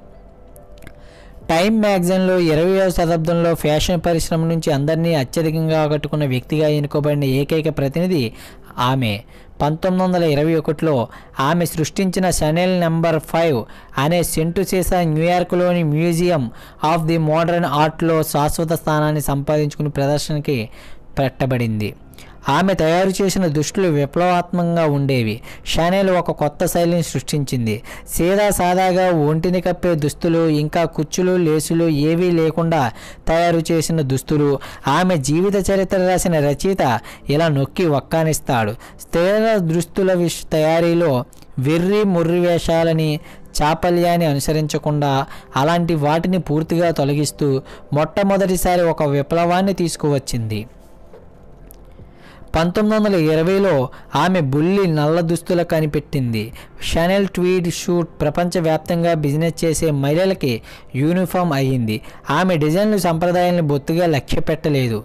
అయినప్పటికీ ఆనాటి ధోరణికి ఆ దుస్తులు అతికినట్టు సరిపోయాయి. సృజన అనేది కళాత్మకమైన ప్రతిభ. ఒక ఫ్యాషన్ డిజైనర్ కళాకారిని తన కాలంలో కలిసి పనిచేయటం అంటుంది షనెల్ ఆ రోజుల్లో ఆమె తయారు చేసిన స్కర్ట్లు మరీ కూరచగా ఉండి మర్యాదలు వేసుకుని వేసుకునేవి కావు అని అన్నారు. ఆమె స్త్రీలకి ప్యాంట్లు తొడిగింది. మడమలకి పట్టీలుండే జోళ్ళు తయారు చేసింది. అల్లిక పనితో స్విమ్మింగ్ డ్రెస్సులు తయారు చేసింది. స్త్రీ శరీరాన్ని ప్రదర్శించేందుకు జెర్సీ బట్టను ఉపయోగించి మరో విప్లవం సృష్టించి మరో నిషేధాన్ని నిర్లక్ష్యం చేసింది. ఏ కొన్నాళ్ళకే ఆమెని అనుష్కరిస్తూ చాలామంది బయలుదేరారు. మరో ఫ్యాషన్ డిజైనర్కి అయితే విపరీతమైన కోపం వచ్చేదే. కానీ షనెల్ సంతోషించింది. ఇతరులు తన డిజైన్లకి నకళ్ళు తయారు చేయాలనుకుంటున్నారంటే అవి ఎంత జనాదరణ పొందాయో తెలుస్తుంది అని అందామె. కానీ ఒక విషయం ఒకసారి ఒక ఆవిష్కారాన్ని అందరికీ తెలియపరిచాక అది అనాగమైపోవాల్సిందే తప్పదు. నాకున్న ఆలోచనలన్నింటినీ ఉపయోగించుకోవడం నాకు సాధ్యం కాదు. వాటిని మరొకరు కను కనుక్కుంటే నేను అమితమైన ఆనందాన్ని పొందుతాను. ఒక్కోసారి వాటిని వాళ్ళు నాకన్నా బాగా ఉపయోగించుకోగలుగుతారు. అవతలి వాళ్ళు మీ ఆలోచనలను దొంగలిస్తారనే భయం సోమరితనానికి కల్పనా శక్తి లేని అభిరుచికి సృజనాత్మకతలో నమ్మకం లేకపోవటానికి నిదర్శనం అంటుంది షనెల్. కోకో షనెల్ అంత సాఫల్యాన్ని సాధించడానికి అసలు కారణం ఆమె భిన్నంగా ఉండేందుకు సాహసించడమే. ఆమె సృష్టించిన శైలిలో సంస్కృతికి కానీ పాండిత్యానికి కానీ జోక్యం లేదు. చరిత్రకి సంబంధించిన జ్ఞాపకాలు కూడా లేవు. అంటాడు ఆమె జీవిత చరిత్రకారుడు. ఆమె సృజనాత్మక క్రియ ఒక విధ్వంసక చర్య.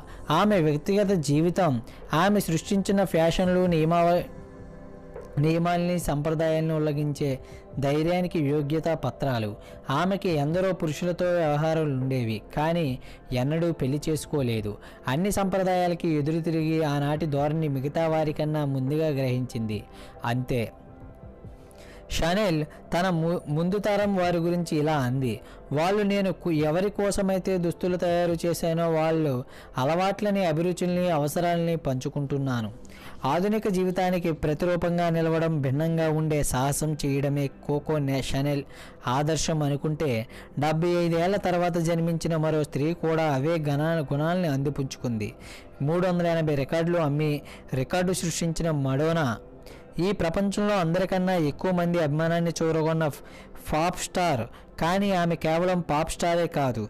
రెండు వేల ఏడు జూన్ నెలలో ఫోర్బ్స్ ఆమెకి ఈ ప్రపంచాన్ని అత్యధికంగా ఆకట్టుకున్న వాళ్ళలో మూడో స్థానం ఇచ్చింది. ఆ క్రితం ఏడాది ఆమె డెబ్బై రెండు మిలియన్ల డాలర్లు సంపాదించింది.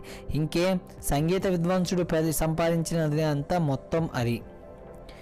ఆమె విజయానికి కారణం ఖచ్చితంగా సంగీతంలో ఆమెకున్న అసాధారణ ప్రతిభ కానే కాదు.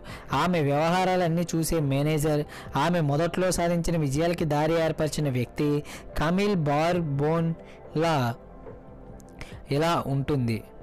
ఆమెకి ఒక పాట రాసేంత లేదా గిటార్ వాయించేంత నేర్పు మాత్రమే ఉంది. పాటలు రాయడంలో అద్భుతమైన తెలివి ఉంది. కానీ వీటన్నిటిని మించి ఆమె వ్యక్తిత్వము గొప్ప ప్రదర్శన చాతుర్యము అందరినీ ఆకట్టుకున్నాయి. ఆంటోనీ జాక్సన్ మడోనాతో పాటు సంగీత సభల్లో పాల్గొన్న సంగీత విద్వాంసుడు ఇలా అంటాడు. తను అందరికన్నా గొప్ప గాయకురాలు కాదని ఆమెకి తెలుసు. కానీ సంగీతాన్ని శ్రోతలకి ఎలా అందించాలో తెలుసు. ఆమె పాడే విధానంలో ఒక ప్రత్యేకమైన శైలి ఉంది. పాటల్ని ఎంచుకోవడం వాటిని పాడే విధానం మీద తన అదుపు ఉంచుకోవడం హాండ్రూ లాయిడో వెబర్ సంగీత ప్రధానమైన ఏవిటా సినిమా తీసినప్పుడు అందులో హీరోయిన్ పాత్ర ధరించేందుకు ఆమె మూడు నెలల పాటు విద్వాంసుల వద్ద సంగీతం నేర్చుకోవాల్సి వచ్చింది. ఎందుకంటే లాయిడ్ వెబర్ ఆ పాటల్ని ఆర్కెస్ట్రాతో పాటు లైవ్ రికార్డు చేస్తానని పట్టుపట్టాడు. ఆమె పాడిన యూ మస్ట్ లవ్ మీ అనే పాటకి పంతొమ్మిది వందల తొంభై ఏడులో ఆస్కార్ బహుమతి లభించింది. పంతొమ్మిది వందల తొంభై ఐదు ఆకురాల కాలంలో ఆమె సంగీత పాఠాలు నేర్చుకుంటున్నప్పటికీ మడోనా ప్రపంచ ప్రసిద్ధిగాంచిన గాయకురాలిగా పేరు సంపాదించుకుంది. ఈనాటి ఎంతోమంది స్త్రీల కళ్ళకి ఆత్మావగానికి ఒక రూపం ఇవ్వడం ద్వారానే ఆమె దాన్ని సాధించగలిగింది. విప్లవాత్మకమైన ఆలోచనలున్న స్త్రీవాదిగా పేరుపడి దానికి గర్విస్తూ ఉన్నప్పటికీ పురుషుల్ని తీవ్రంగా వ్యతిరేకిస్తూ వారితో లైంగిక సంబంధాలను తిరస్కరించే స్త్రీ స్త్రీవాదులకి ఆమెకి ఎటువంటి పోలిక లేదు. ఎన్నో స్త్రీవాద పరుచునులు మడోనా మెనలో ఒకరా లేక మన పోరాటానికి వ్యతిరేకించే స్త్రీ ద్రోహ అనే విషయం మీద తీవ్రమైన వాగ్విధాలను ప్రచురించాయి. మడోనా స్త్రీ స్వభావానికి తగ్గట్టు నాజుగ్గా పురుషులు కోరుకునేట్టు ఉంటూనే చాలా దృఢమైన మనసుని పోరాట పటిమని కూడా కలిగి ఉంటూ ఎటువంటి వర్గంలోనూ సులభంగా చేర్చబడినట్టు ఉంటుంది. సంప్రదాయబద్ధమైన పాత్రలను ఒప్పుకోకపోవడం వల్ల ఆమె స్త్రీల వల్ల ఆ తీవ్రమైన ఆకాంక్షలకి కోరికలకి ఖచ్చితంగా అమరినట్టు సరిపోయేట్టు ఉంటుంది. టెక్సాకి చెందిన జానపద కళాకారిణి రాసిన ఐ డ్రీమ్ ఆఫ్ మొడోనా అనే పుస్తకం ఇతర స్త్రీలు మొడోనా గురించి కన్న కలగా సంకలనంలో రకరకాల వయసుల్లో ఉన్న సామాజిక నేపథ్యం నుంచి వచ్చిన స్త్రీలు మొడోనా గురించి తమ అభిప్రాయాలు చెప్పారు. కొందరికి ఆమె విముక్తి కలిగించే వ్యక్తిగా కనిపిస్తుంది ఇంకొకరికి యుద్ధానికి సిద్ధమైన తోటి సైనికులలా కనిపిస్తుంది. పురుషులకి ఒళ్ళో వేసుకునే నిరజానలో కొందరికి కొందరికి తమని ఆకట్టుకోగల ఒకే ఒక స్త్రీగా కనిపిస్తుంది. నాలుగు వందల పేజీల మొడోనా జీవచరిత్ర రాసిన లూసీ ఓబ్రైన్ ఇలా అంటుంది. ప్రతి ఆడదాన్ని ఆకట్టుకునే గుణం ఆమెలో ఉంది. ఆ రోజుల్లో అద్భుతంగా అనిపించిన విషయం అందరి మీద పడిన ఆమె ప్రభావం. మొడవన పంతొమ్మిది వందల యాభై ఎనిమిదిలో పుట్టింది. ఐదేళ్ళప్పుడు ఆమె తల్లిని కోల్పోయింది. హై స్కూల్లో ఉండగా నాటకాల మీద ఆసక్తి కలిగింది. అప్పుడు నర్తకి అవ్వాలనుకుంది. మిషిగన్ యూనివర్సిటీలో నృత్యం అభ్యసించటం మొదలుపెట్టింది. కానీ త్వరలోనే మానేసింది. ఆమె అది తండ్రిని చాలా బాధించింది. ఆమె తన విద్యను కొనసాగించమని ఆమె ఆయన చెప్పేందుకు ప్రయత్నించినప్పుడు నా జీవితాన్ని ఎలా గడపాలో చెప్పడం మానేయి అని అరిచింది. అంతేకాదు తింటున్న పళ్ళాన్ని గోడకేసి కొట్టింది. మొడవన జేబులో ముప్పై డాలర్లతో న్యూయార్క్కి వెళ్ళిపోయింది. వెయిట్రేస్గా పనిచేసింది. నగ్నంగా ఫోటోలు తీయించుకునే మోడల్లా పనిచేసింది. ఆమె బతకనేర్చిన పిల్ల. ఆకలితో ఉండి తిండి కావాలనుకున్నప్పుడు రోడ్డు మీద ఎవరినో ఒకరిని తన ఇంటికి తీసుకెళ్ళేది. అంటుంది కమీల్ బార్బోన్. నేనే వాళ్ళని పిలిచి నా పరిస్థితిని తమకి అనుకూలంగా ఉపయోగించుకోమని అనేదాన్ని కాబట్టి వాళ్ళేదో నన్ను దోచుకుంటారని అనుకోలేదని అంటుంది ఆమె. అన్నిటికన్నా ఎక్కువగా ఆమె కోరుకున్నది పేరు ప్రతిష్టలు సంపాదించాలని. తారగా వెలిగేందుకు ఏం చేయడానికైనా సిద్ధంగా ఉండేది అంటాడు ఒకప్పటి ఆమె బాయ్ ఫ్రెండ్ డీజే మార్క్ కామిన్స్. ఆమె ఒక ప్రత్యేకమైన పనిని తలపెట్టింది. పేరు ప్రతిష్టలు సంపాదించాలని తీవ్రమైన ఆకాంక్ష సిగ్గు లజ్జ కూడా వదిలెట్టు చేసింది ఆమెని అంటాడు బ్రిటిష్ సంగీత విద్వాంసుడు టిక్ విక్స్ అసలు నిజంగా ఏ విషయంలో పేరు ప్రఖ్యాతులు సంపాదించాలనుకుంటుందో ఆమెకే తెలియదు పంతొమ్మిదేళ్ళ వయసులో తావు గొప్ప పేరున్న నర్తకి అవ్వాలనుకుంది. ఆ తర్వాత మంచి నటిగా తనను ఊహి తాను ఊహించుకుంది. చివరికి సూపర్ స్టార్ అవ్వాలంటే సంగీతాన్ని మించినది లేదని తెలుసుకుంది. ఆవిడ మాటల్లో చెప్పాలంటే సంగీతమే ప్రసిద్ధికి ముఖ్యమైన అంశం. అది విజయవంతమైనప్పుడు దాని ప్రభావం గురితప్పని బాణంలాగా లక్ష్యాన్ని ఛేదిస్తుంది. గాయకురాలిగా వృత్తి చేపట్టిన కొత్తల్లో మొడవలని ఇంటర్వ్యూ చేసిన ఒక పాత్రికేయుడు ఇలా అన్నాడు. ఆమెది దూరదృష్టి. ఆ తను ఎక్కడికి వెళ్తానన్నది ఆమెకి స్పష్టంగా తెలుసు. పంతొమ్మిది వందల ఎనభైయో దశకంలో యూపీలా యంగ్ అర్బన్ ప్రొఫెషనల్స్ తన లక్ష్యం ఎలాగైనా సాధించాలన్న దృఢ నిశ్చయంతో ఉండేది. ఆ ఇంటర్వ్యూలో మొడవన నిర్మాతల గురించి మార్కెట్ గురించి రాబోయే కాలంలో తమ ఎవరితో కలిసి పని చేయాలనుకుంటుందో ఆమె దాని అనే దాని గురించి మాట్లాడింది. ఎప్పుడూ ఆమెకు ముందు చూపే ఉండేది. పంతొమ్మిది వందల ఎనభై నాలుగులో అమెరికన్ బ్యాండ్ స్టాండ్కి ఇచ్చిన ఇంటర్వ్యూలో ఆమె తన భవిష్యత్తు గురించి ఇలా చెప్పింది. నేను ఈ ప్రపంచాన్ని ఏలబోతున్నాను. పేరు సంపాదించుకునేందుకు మడోనా కావాలని ఉసుగొల్పడాన్ని ఉపయోగించింది. ఆమె వేదిక మీద ప్రదర్శన ఇచ్చేటప్పుడు జనానికి విపరీతమైన కోపం తెప్పించేందుకు లైంగికమైన మత సంబంధమైన కల్పనలను తరచూ వాడుకునేది. ఆమె ఆశించినట్టే కేథలిక్ చర్చ్ మళ్ళీ మళ్ళీ ఆమె ప్రదర్శనలను వెలియమేమని కోరేది. అశ్లీలమైన ప్రదర్శనలు ఇస్తుందన్న ఆరోపణతో కెనడా పోలీసులు ఆమెను ఖైదు చేస్తామని బెదిరించారు. పంతొమ్మిది వందల తొంభై రెండులో శృంగారాన్ని ప్రదర్శించే ఫోటోలను ఆమె పుస్తకం దానికి ఆమె సెక్స్ అనే పేరు పెట్టింది.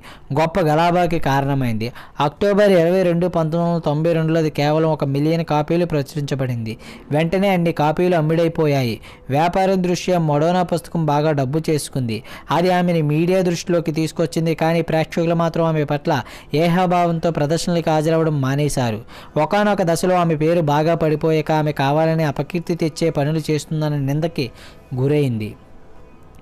ఆమె రాసిన పుస్తకం బాగా లోతుగా దెబ్బతిన్న మనసుకు నిదర్శనంగా భావించబడింది. మిగతా కళాకారుల్లా రెచ్చగొట్టినప్పుడు మరింత నిలదొక్కుకోకుండా మడోనా ఘర్షణకి పడిపో ఓడిపోవడానికి బదులు ఎప్పుడూ కొంత సర్దుకుపోవడానికి ఇష్టపడేది. మరీ అతిగా ప్రవర్తించాను అని ఆమెకు అనిపించినప్పుడల్లా ఆమె పంతొమ్మిది వందల తొంభై మూడులో లాగా గర్లీ షో లాంటి అమాయకమైన ప్రదర్శనలు ఇచ్చి తన ప్రేక్షకులకు తృప్తిపరిచేది. ఒక రకమైన ప్రదర్శన ఇస్తుందన్న పేరు రాకుండా ఉండేందుకు మడన ఎప్పటికప్పుడు తనని పునస్కరావిష్కరించుకుంటూ తన గురించి జనానికి ఉన్న అభిప్రాయాన్ని మార్చుకుంటూ ఉండడం ఎంత ముఖ్యమో అర్థం చేసుకుంది. మొట్టమొదటి ఇచ్చిన ఆల్బమ్ విజయవంతం అయ్యాక ఆమె పూర్తిగా భిన్నమైన ప్రక్రియలో ప్రయత్నం చేసింది. అది ఆమె రికార్డులను తయారు చేసే వార్నర్ బ్రదర్స్కు కోపం తెప్పించింది. జిమీ బ్రాలోయర్ అనే వ్యక్తి లైక్ ఏ వర్జిన్ అనే ఆల్బమ్ డ్రమ్స్ వాయించాడు. ఆయన ఇలా అంటాడు ఒక ప్రక్రియలో మూడు సార్లు మీ ఆల్బమ్లో విజయం చవిచూశాక మీరు మళ్ళీ అదే ప్రక్రియని చేపడతారు. అది పాడవనట్టయితే దాన్ని మరమ్మత్తు చేయకండి. కానీ మడోనా మామూలు దోణలన్నీ అడ్డుకుంది వాటితో ఘర్షణకి దిగింది. తన మొట్టమొదటి ఆల్బంలోని చెత్తని వదిలేసి ఆమె రేడియోలో వినిపించే పాప్ పాటలు అంటే లైక్ ఏ వర్జిన్ లాంటివి పోడసాగింది. ఆ తర్వాత తన పాటల్లో జాబ్ లేక ఆవేశాన్ని ఎక్కువగా పలికించేందుకు ఇష్టపడింది. హిప్ హాప్ అండ్ ఆఫ్రికన్ సంగీతంలోంచి కొన్ని ఆలోచనలు తన పాటల్లో చేర్చుకుంది. పాడిందే పాడి అవే ఆల్బమ్లని మళ్ళీ మళ్ళీ విడుదల చేయకుండా రోలింగ్ స్టోన్స్ లాగా పాప్ మ్యూజిక్లో నిరంతరం కొత్త ధోరణులను అనుసరించడం ప్రారంభించింది. ఇలా చేసేందుకు బోలెడంత ధైర్యం ఉండాలి? వేదిక మీద ప్రదర్శనలు ఇచ్చినప్పుడు శ్రోతలకి తమకు ఇష్టమైన పాటలు మళ్ళీ మళ్ళీ వినాలని ఉండేది. కానీ మడోనా చాలా అరుదుగా వాళ్ళ కోరిక మన్నించేది. గాయకురాలి గాయకురాలిగా ఆమె వృత్తి జీవితం ఎప్పుడూ కత్తి మీద సోమలాగే ఉండేది. రెచ్చగొట్టడం ఎక్కువ మంది ఆదరించే విధంగా పాడడం మధ్య అది ఊగిసలాడుతూ ఉండేది. ప్రజాదరణ పొందిన ధోరణులను అనుసరించడమా లేక అగ్రగామి కళాకారిణిగా వాటిని నిర్లక్ష్యం చేయడమా అనే రెండు పార్శ్వాల మధ్య ఘర్షణ ఉండేది. ఆమెది ఆమె మీద తరచూ ఇతర సంగీ సంగీతజ్ఞుల దగ్గర నుంచి దొంగలిస్తుంది అన్న నింద ఉండేది. ఎన్నో కేసుల్లో ఇరుక్కుంది రకరకాల కళారూపాల ప్రభావాన్ని ఆచరి అనుసరించేది ఆమె ఇతర కళాకారులకు పనికొచ్చిన విషయాల్ని నకలు చేసేందుకు ఆమె భయపడలేదు. అన్నిటికన్నా ముఖ్యంగా ఆమె ఎప్పుడూ కొత్త విషయాలు నేర్చుకునేందుకు సుముఖంగా ఉండేది. అలాగే ఒకే చోట ఎక్కువ కాలం ఎప్పుడూ ఉండలేదు. పింక్ ఫ్లాడ్ తోనూ మైకేల్ జాక్సన్తోనూ కలిసి పనిచేసిన పాట్ లియోనార్డ్ ఇలా గుర్తు చేసుకుంటాడు.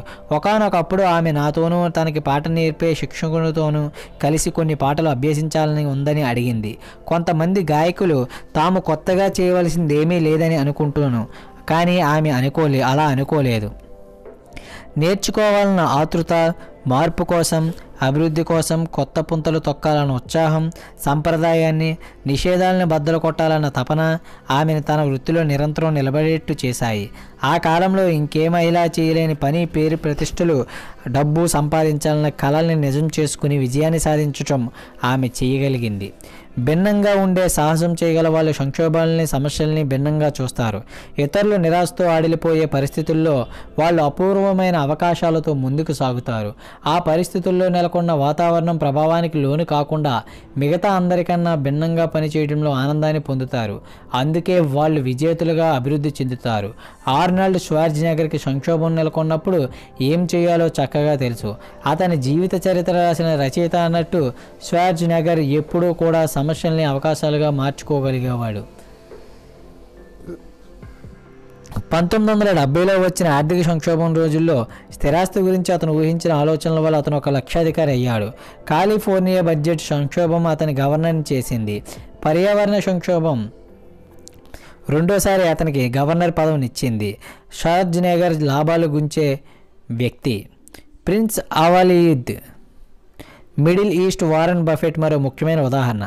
మార్చి పంతొమ్మిది వందల యాభై ఏడులో సౌదీ అరేబియాలో పుట్టిన ఆ పెట్టుబడిదారు అన్నిటికన్నా పెద్దదైన తన పెట్టుబడి సిటీ గ్రూప్కి ఆర్థిక సంక్షోభం వచ్చినప్పుడు డబ్బు కోల్పోవడం ప్రారంభించక మునుపు ప్రపంచంలో అందరికన్నా పెద్ద ధనవంతుడు అయినప్పటికీ ప్రపంచవ్యాప్తంగా ఉన్న గొప్ప పెట్టుబడిదారులో అతన్ని కూడా లెక్కిస్తారు. అతని దగ్గర నుంచి చాలామంది ఎన్నో విషయాలు నేర్చుకోవచ్చు. అన్నిటికన్నా ముఖ్యంగా ఏటికి ఎదురేందుకు సిద్ధంగా ఉన్నప్పుడే ధనవంతులు కాగలరు అన్న పాఠాన్ని. ఆల్ వలీద్కి అంత సంపద లభించడానికి మూలస్తంభంగా పనికి వచ్చినది చమురు వ్యాపారం కాదు స్థిరాస్తి వ్యాపారం. అభివృద్ధి ప్రణాళికలు పంతొమ్మిది వందల ఎనభై దశకం చివరిలో రియాద్లోని ఓలయా జిల్లాలో అతనికి అభివృద్ధికి నోచుకొని పెద్ద జాగా దొరికింది. ఆ కాలంలో ఊళ్ళోని ఆ ప్రాంతంలో ఒకటో ఆరో నగల దుకాణాలు విద్యుత్ పరికరాలు అమ్మే దుకాణాలు తప్ప ఇంకేమీ లేవు. ప్రిన్స్ ఆల్ వలీద్ ఆ జాగా యజమానులతో మాట్లాడాడు. కానీ చదరపు మీటర్కి వాళ్ళు అడిగిన మొత్తం పదహారు వందల డాలర్లకి సమానమైనంత. అది చాలా హెచ్చు ధర అని అనిపించింది అతనికి.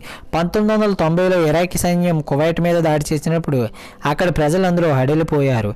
తరువాత దాడి సౌరీ సౌదీ అరేబియా మీదే అది జరగవచ్చని అనుకుని చాలామంది పెట్టుబడిదారులు తమ పెట్టుబడి మొత్తాన్ని ఆ దేశం నుంచి వెనక్కి తీసేసుకున్నారు. స్థిరాస్తుల ధరలు కూడా విపరీతంగా పడిపోసాగాయి. అప్పుడు ఆల్ వలీద్ తన దల్ కొనదలుచుకున్న స్థలాన్ని చదరపు మీటరు ఐదు వందల ముప్పై మూడు డాలర్లు కొనగలిగాడు.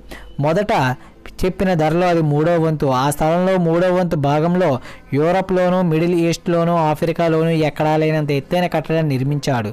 దానికి కింగ్డమ్ సెంటర్ అని పేరు పెట్టాడు. మిగతా స్థలాన్ని నాలుగేళ్ళ తర్వాత నాలుగు వందల శాతం లాభానికి అమ్ముకున్నాడు. అసలు సొంతదారులు తనకి అంత చవగ్గా ఆ స్థలాన్ని అమ్మినందుకు అతను సంతోషించినప్పటికీ వాళ్ళ లాంటి పని ఎందుకు చేశారో అతనికి అర్థం కాలేదు. వాళ్ళు ఏమనుకున్నారు అమెరికా సద్దాంని ఓడించబోతుందనుకున్నారా? ఈ యుక్తిని అతను పదే పదే వాడాడు. సంక్షోభంలో అతనికి మంచి పెట్టుబడి పెట్టే సదవకాశాలు కనిపించేవి. పంతొమ్మిది వందల తొంభై దశకం ప్రారంభంలో కానరీ వార్ఫ్ అనే యూరప్లోని స్థిరాస్తికి సంబంధించిన అతిపెద్ద ప్రణాళిక తూర్పు లండన్లో రూపుదిద్దుకుంటుంది. దురదృష్టవశాత్తు కొత్త ఆఫీసు భవనం ముప్పై నాలుగు హెక్టార్లకు మించిన స్థలంలో కట్టడం ముగిసాగా స్థిరాస్తి ధరలు అద్దెలు విపరీతంగా పడిపోయాయి. లండన్లోని ఆ ప్రాంతంలో అన్ని సదుపాయాలు సరిగ్గా లేనందున ఒక లక్ష అరవై వేల డాలర్ చదరపు మీటర్లున్న ఆ ఖాళీ జాగాని కొనేందుకు ఎవరూ ముందుకు రాలేదు. పెద్ద ఎత్తున ఆ నిర్మాణాన్ని ప్రారంభించిన పాల్ రైక్మెన్ అనే వ్యక్తి తను మొదుపు పెట్టిన మొత్తం డబ్బు పోగొట్టుకున్నాడు. ఆల్ వలీద్ కానరీ వార్ఫ్ కంపెనీలో ఆరు శాతం షేర్లను కొని రైక్మెన్ బోర్డుకి చైర్మన్గా నియమించాడు. నాలుగేళ్ళ తర్వాత స్థిరాస్తి కంపెనీ పబ్లిక్ ఇష్యూ ద్వారా షేర్లను అమ్మకానికి పెట్టింది. రెండు వేల సంవత్సరంలో షేర్ల విలువ అత్యధిక స్థాయికి చేరుకుంది. రెండు వేల ఒకటి జనవరి నెలలో ఆల్ వలీద్ కంపెనీలో తనకున్న షేర్లలో రెండు బై మూడో వంతుని అమ్మేశాడు. కొన్నప్పుడు అరవై ఆరు మిలియన్ల డాలర్లు ఉన్న ఆ షేర్లు రెండు వేల నాలుగు వందల మిలియన్ల డాలర్లు సంపాదించి పెట్టాయి. ఆల్ వలీద్ అత్యధికంగా డబ్బు పెట్టి పెట్టింది పంతొమ్మిది వందల తొంభై ఒకటిలో. అప్పటికే ఆ రోజుల్లో అమెరికాలోని బ్యాంకులన్నిటిలోకి పెద్దదైన సిటీ గ్రూప్ తాలూకు షేర్ల విలువ బాగా పడిపోయింది. కష్టాల్లో ఉన్న ఆ కంపెనీలో అతను ఎనిమిది వందల డా మిలియన్ల డాలర్లు మదుపు పెట్టాడు. షేర్ హోల్డర్లో వ్యక్తిగతంగా పెట్టిన అత్యధిక పెట్టుబడి అది. రెండు వేల ఎనిమిదిలో ఆర్థిక సంక్షోభం సంభవించినప్పుడు విపరీతంగా పడిపోయే ముందు అతని షేరు విలువ పది బిలియన్ల డాలర్కి పెరిగింది. Warren Buffett Al Waleed George Soros లాంటి పెట్టుబడిదారులకు సంక్షోభాలు కుంగిపోవడాలు స్వర్ణ స్వర్ణ అవకాశాలను అందిస్తాయి. మిగతా పెట్టుబడిదారులు అందరూ తమ గాయాలను మానుపుకునే ప్రయత్నంలో ఉన్న సమయంలో వీళ్ళు ఎదురు ఈ- ఎదుగుతారు. షేర్లు కొనడానికి షేర్ మార్కెట్ పడిపోయి అందరూ భయాందోళనలో ఉన్న సమయం కన్నా మెరుగైన సమయం ఏదీ ఉండదు. ఏదైనా కంపెనీ పనితీరు తనకి నచ్చితే బఫెట్ కొన్ని ఏళ్ళ పాటు దాన్ని గమనిస్తాడు. ఆ కంపెనీని మంచి ధరకు కొనే అవకాశం కోసం వేచి ఉంటాడు. షేర్ల ధరలు పెరుగుతున్నప్పుడు అందరూ అత్యుత్సాహంతో పెరుగున్నప్పుడు ఇటువంటి అవకాశాలు అరుదుగా లభిస్తాయి. నిరాశ నిస్పృహలు పెరిగి అందరూ అశాంతిలో ఉన్నప్పుడు తమ షేర్లను వీలైనంత త్వరగా వదిలించుకునేందుకు షేర్ హోల్డర్లు అందరూ ప్రయత్నించే సమయంలో ఏటికి ఎదురెదడం తెలిసిన పెట్టుబడిదారులు అవకాశాలను అందిపుచ్చుకుంటారు. వారెన్ బఫెట్ లాంటి వాడికి నైన్ బై లెవెన్ లాంటి విషాదాలు కూడా అవకాశాలను అందిస్తాయి. బఫెట్ బీమా వ్యవహారాలు చూసే అజిత్ జైన్ ఉగ్రవాదుల దాడి నుంచి రక్షణ కల్పించే బీమా పాలసీల్ని అమ్మడం మొదలుపెట్టాడు. వరల్డ్ ట్రేడ్ సెంటర్ విధ్వంసం వల్ల మార్కెట్లో ఏర్పడిన లోటుని భర్తీ చేసేందుకు అది పనికి వచ్చింది. ఆ విధ్వంసము ఆ లోటుని స్పష్టం చేయడం గొప్ప విషాదం. జైన్ మహాహటంలోని రాక్ ఫెల్లర్ సెంటర్ని క్రైస్లర్ బిల్డింగ్ని దక్షిణ అమెరికాలోని ఒక చమురు శుద్ధి కేంద్రాన్ని నార్త్ సీలోని ఒక ఆయిల్ ప్లాట్ఫామ్ని చికాగోలోని సియర్ టవర్ని బీమా చేశాడు. Buffett Berkshire company American క్రీడాకారులు ఒలింపిక్ క్రీడల్లో పాల్గొంటాయని రద్దు చేసిన మానుకున్న నష్టం కలగకుండా బీమా చేసింది. సాల్ట్ లేక సిటీలోని వింటర్ ఒలింపిక్స్ సాకర్ వరల్డ్ కప్కి కూడా బెర్క్ షైర్ బీమా పాలసీలు వర్తించాయి. జరిగిన ఘోరాలకి మిగతా అమెరికన్లాగే బఫెట్ కూడా దిగ్రబంది చెందాడు. కానీ తనకి వ్యక్తిగతంగా వచ్చిన తీవ్రమైన కోపాన్ని వ్యాపార వ్యవహారాలకు అడ్డు రానివ్వలేదు. సంక్షోభం నెలకొన్నప్పుడు రుసుము ధైర్యము కనుక కలిస్తే అది అమూల్యమనిపించుకుంటుంది అంటాడు అతను. నిధుల నిర్వాహకుడు జాన్ పాల్సన్ కూడా బఫెట్ అభిప్రాయాలతో పూర్తిగా ఏకీభవిస్తాడు. ఎక్కువ మంది అమెరికన్లు ఇళ్ళ ధరలు పెంచడం గురించి ఆలోచిస్తున్న సమయంలో నైన్ బై లెవెన్ దాడుల ఫలితంగా రాబోయే కొన్ని సంవత్సరాల్లో తక్కువ వడ్డీకి రుణాలు దొరుకుతాయని స్థిరాస్తి బుడగ బ్రహ్మాండంగా పెరిగి పోతుందని ముందుగానే గ్రహించి పాల్సన్ అసహనంతో అది ఎప్పుడు పేలిపోతుందా అని ఎదురు చూడసాగాడు. ఆ బుడగ పేలిపోతుందని అర్థం చేసుకున్నది అతను ఒక్కడే కాదు. కానీ ఆ పరిజ్ఞానాన్ని డబ్బు చేసుకునేందుకు ఎలా ఉపయోగించుకోవాలని ఆలోచించిన కొద్ది మందిలో అతను కూడా ఒకడు. తను భవిష్యవాణి చెప్పిన ఫలితాల మీద పందెం కాసేందుకు ఎటువంటి ఆర్థిక పరికరాలని వాడడం సమంజసం? పందెం కాయడానికి సరైన సమయం ఏది? అందరూ స్థిరాస్తి మార్కెట్ భవిష్యత్తు గురించి అత్యుత్సాహం చూపిస్తూ ఉన్న సమయంలో మిగతా పెట్టుబడిదారులని ఆకట్టుకోవడం ఎలా? స్థిరాస్తుల కంపెనీల పనికిరాని షేర్లను షేర్ల ధరలు పడిపోతున్న నేపథ్యంలో అమ్ముకుని డబ్బు చేసుకోవాలని పాల్సన్ మొదట్లో ప్రయత్నించాడు. ఆ వ్యూహం విఫలమవడంతో అతను అతని తోటి ఇన్వెస్టర్లు స్థిరాస్తుల ధరలో నెలకొన్న మాధ్యంలో ప్రత్యక్షంగా లాభాలు పొందే మరొక మార్గాన్ని వెతకడం ప్రారంభించారు. చివరికి వాళ్ళు సిడిఎస్ కాంట్రాక్టులను కొనాలని నిర్ణయించారు. వీటిలో ఇళ్ళను తనఖా పెట్టి చెల్లించకపోయిన రుణాలను బీమా ఉంటుంది. మార్కెట్లో లావాదేవీలు జరిపే వాళ్ళు అలాంటి రుణాలు చెల్లించబడవని అనుకోకపోవటం వల్ల ఇన్సూరెన్స్ ప్రీమియం చాలా తక్కువగా ఉంటుంది. ఈ తనఖాలను కొనే పెట్టుబడిదారులు గుడ్డిగా ఏజెన్సీలు నిర్ణయించిన స్థాన క్రమాల మీద ఆధారపడ్డారు. కానీ పాల్సన్ అంత సులువుగా మోసపోయే రకం కాదు. వాళ్ళ లెక్కలన్నీ ఎంతో పాతవి అని ఇళ్ళదారులు పెరుగుతున్న సమయంలో డేటా మీద ఆధారపడి చేసినవి అని అతనికి తెలుసు. ఈ డేటా ఆధారంగా మార్కెట్ భవిష్యత్తును సరిగ్గా అంచనా వేయటం సాధ్యం కాదని అతను అనుకున్నాడు. స్థిరాస్తి మార్కెట్ కూలిపోయే ప్రమాదం ఉందని తనతో ఏకీభవించే పెట్టుబడిదారులను పట్టుకోవడం పాల్సన్కి మొదట్లో కష్టమైంది. చాలామంది పెట్టుబడిదారులు దానికి విరుద్ధంగా ఆలోచించారు. తగినంత మూలధనాన్ని అతను సమకూర్చుకున్నాక అతనికి మరో సమస్య ఎదురైంది. అతను అనుకున్నట్టు సిడిఎస్ కాంట్రాక్ట్ ధరలు పెరగడానికి బదులు పడిపోవటం మొదలైంది. అతని దగ్గర తమ డబ్బు పెట్టుబడి ఉంచిన అనేక మంది అతని వ్యూహాన్ని ప్రదర్శించసాగారు తమ డబ్బును వెనక్కి ఇచ్చేయమని అడగసాగారు. పాల్సన్ బెదిరిపోలేదు. మనసు మార్చుకోలేదు. తనకు ఆ వ్యాపారం గురించి క్షుణ్ణంగా అధ్యయనం చేశాడు. తక్కువ క్రెడిట్ రేటింగ్స్ ఎక్కువ రిస్క్ ఉన్న తనఖాల కోసం చూడటం మొదలుపెట్టాడు. సాధారణంగా వీటి గురించి ఇతరులు పట్టించుకోరు. అమెరికాలోని స్థానిక స్థిరతల రంగం పైన తన దృష్టి సారించాడు. సట్టా వ్యాపారం విచక్షణారహితంగా తనఖాలపై రుణాలు ఇవ్వటం ఇక్కడ చోటు చేసుకుందని గ్రహించాడు. ఆదాయం మూలధనం ఏమాత్రం లేని ఎందరికో ఒక్కోసారి వాళ్ళ ఆదాయానికి రుజువు చూపించమని అడగకుండానే అమెరికాలోని బ్యాంకులు విచక్షణారహితంగా తనఖా మీద అప్పులు ఇచ్చింది. వీటి మీద వడ్డీ రేట్లు మొదటి రెండు సంవత్సరాలు అతి తక్కువ నుండి దరిమిలా విపరీతంగా పెరుగుతాయి. అదొక జోదం. దానిలో వడ్డీ రేట్లు తక్కువగా ఉన్నంతకాలం ఇళ్ళ ధరలు పెరుగుతుంటాయి. ఇది అట్టే కాలం సాగదని పాల్సని అభిప్రాయపడ్డాడు. కాలక్రమేణా తన ఖాతాదారులు రుణాలు చెల్లించలేని స్థితి ఏర్పడుతుందని అతను నమ్మాడు. పాల్సన్ పనిన వ్యూహం దీర్ఘకాలంలో లభించింది. స్థిరాస్తుల రంగం కూలిపోయి ప్రపంచవ్యాప్తంగా ఆర్థిక సంక్షోభం ఏర్పడినప్పుడు అతని నిధిలో పెట్టుబడి పెట్టిన వాళ్ళకి ఇరవై బిలియన్ డాలర్లు దక్కాయి. పాల్సన్ తన వాటా కింద ఇరవై శాతం సొమ్ము ఫో నాలుగు బిలియన్ డాలర్లు పుచ్చుకున్నాడు. అతని గురించి రాసిన పుస్తకం ఒకటి ఉంది దాని పేరు ద గ్రేటెస్ట్ ట్రేడ్ ఎవర్. ఆర్థిక రంగం చరిత్రలోనే అది నిజంగా అత్యుత్తమమైన వ్యాపారం. ఇతరులు సంక్షోభంగా గుర్తించిన దానిలో ఒక అవకాశం గుర్తించడానికి ప్రత్యేకమైన మానసిక బలం అవసరమవుతుంది. వ్యాప్తిలో ఉన్న అభిప్రాయానికి పోటీగా ఏదైనా చేయాలంటే దానికి ఎంతో ధైర్యం కావాలి. మీ వ్యూహం మీద మీకు ఎంత నమ్మకం ఉన్నా ఏదో ఒక దశలో మిమ్మల్ని మీరు సందేహించటం మొదలు పెడతారు. అధిక సంఖ్యాకులు ఈ విషయంలో తప్పు చేస్తున్నారా లేక నా ఆలోచన విధానమే సరిగ్గా లేదా? నా తప్పులు నేను గుర్తించలేకపోతున్నానా నేనా? లేక మార్కెట్లోని అధిక సంఖ్యాకులు గుర్తించలేని దేన్నో నేను తెలుసుకున్నానా? విజయవంతమైన వాణిజ్యవేత్తలు పెట్టుబడిదారులు అందరిలోని ఏటికి ఎదిగేదే సామర్థ్యం సమానంగా ఉంటుంది.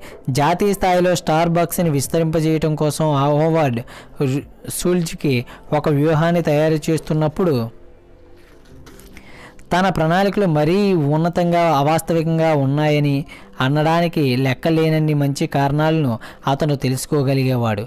మొట్టమొదటి నుంచి స్టార్ బక్స్కి అన్నీ కష్టాలే. స్టార్ బక్స్ జన్మస్థానం సియాటల్ పంతొమ్మిది వందల డెబ్బై దశకం.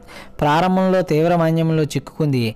ఆ నగరంలోని అతిపెద్ద యజమాని బోయింగ్ వ్యాపారంలో నష్టపోవడంతో తన సిబ్బందిని లక్ష నుంచి ముప్పై ఎనిమిది వేల వరకు మూడు సంవత్సరాల వ్యవధిలో తగ్గించవలసి వచ్చింది.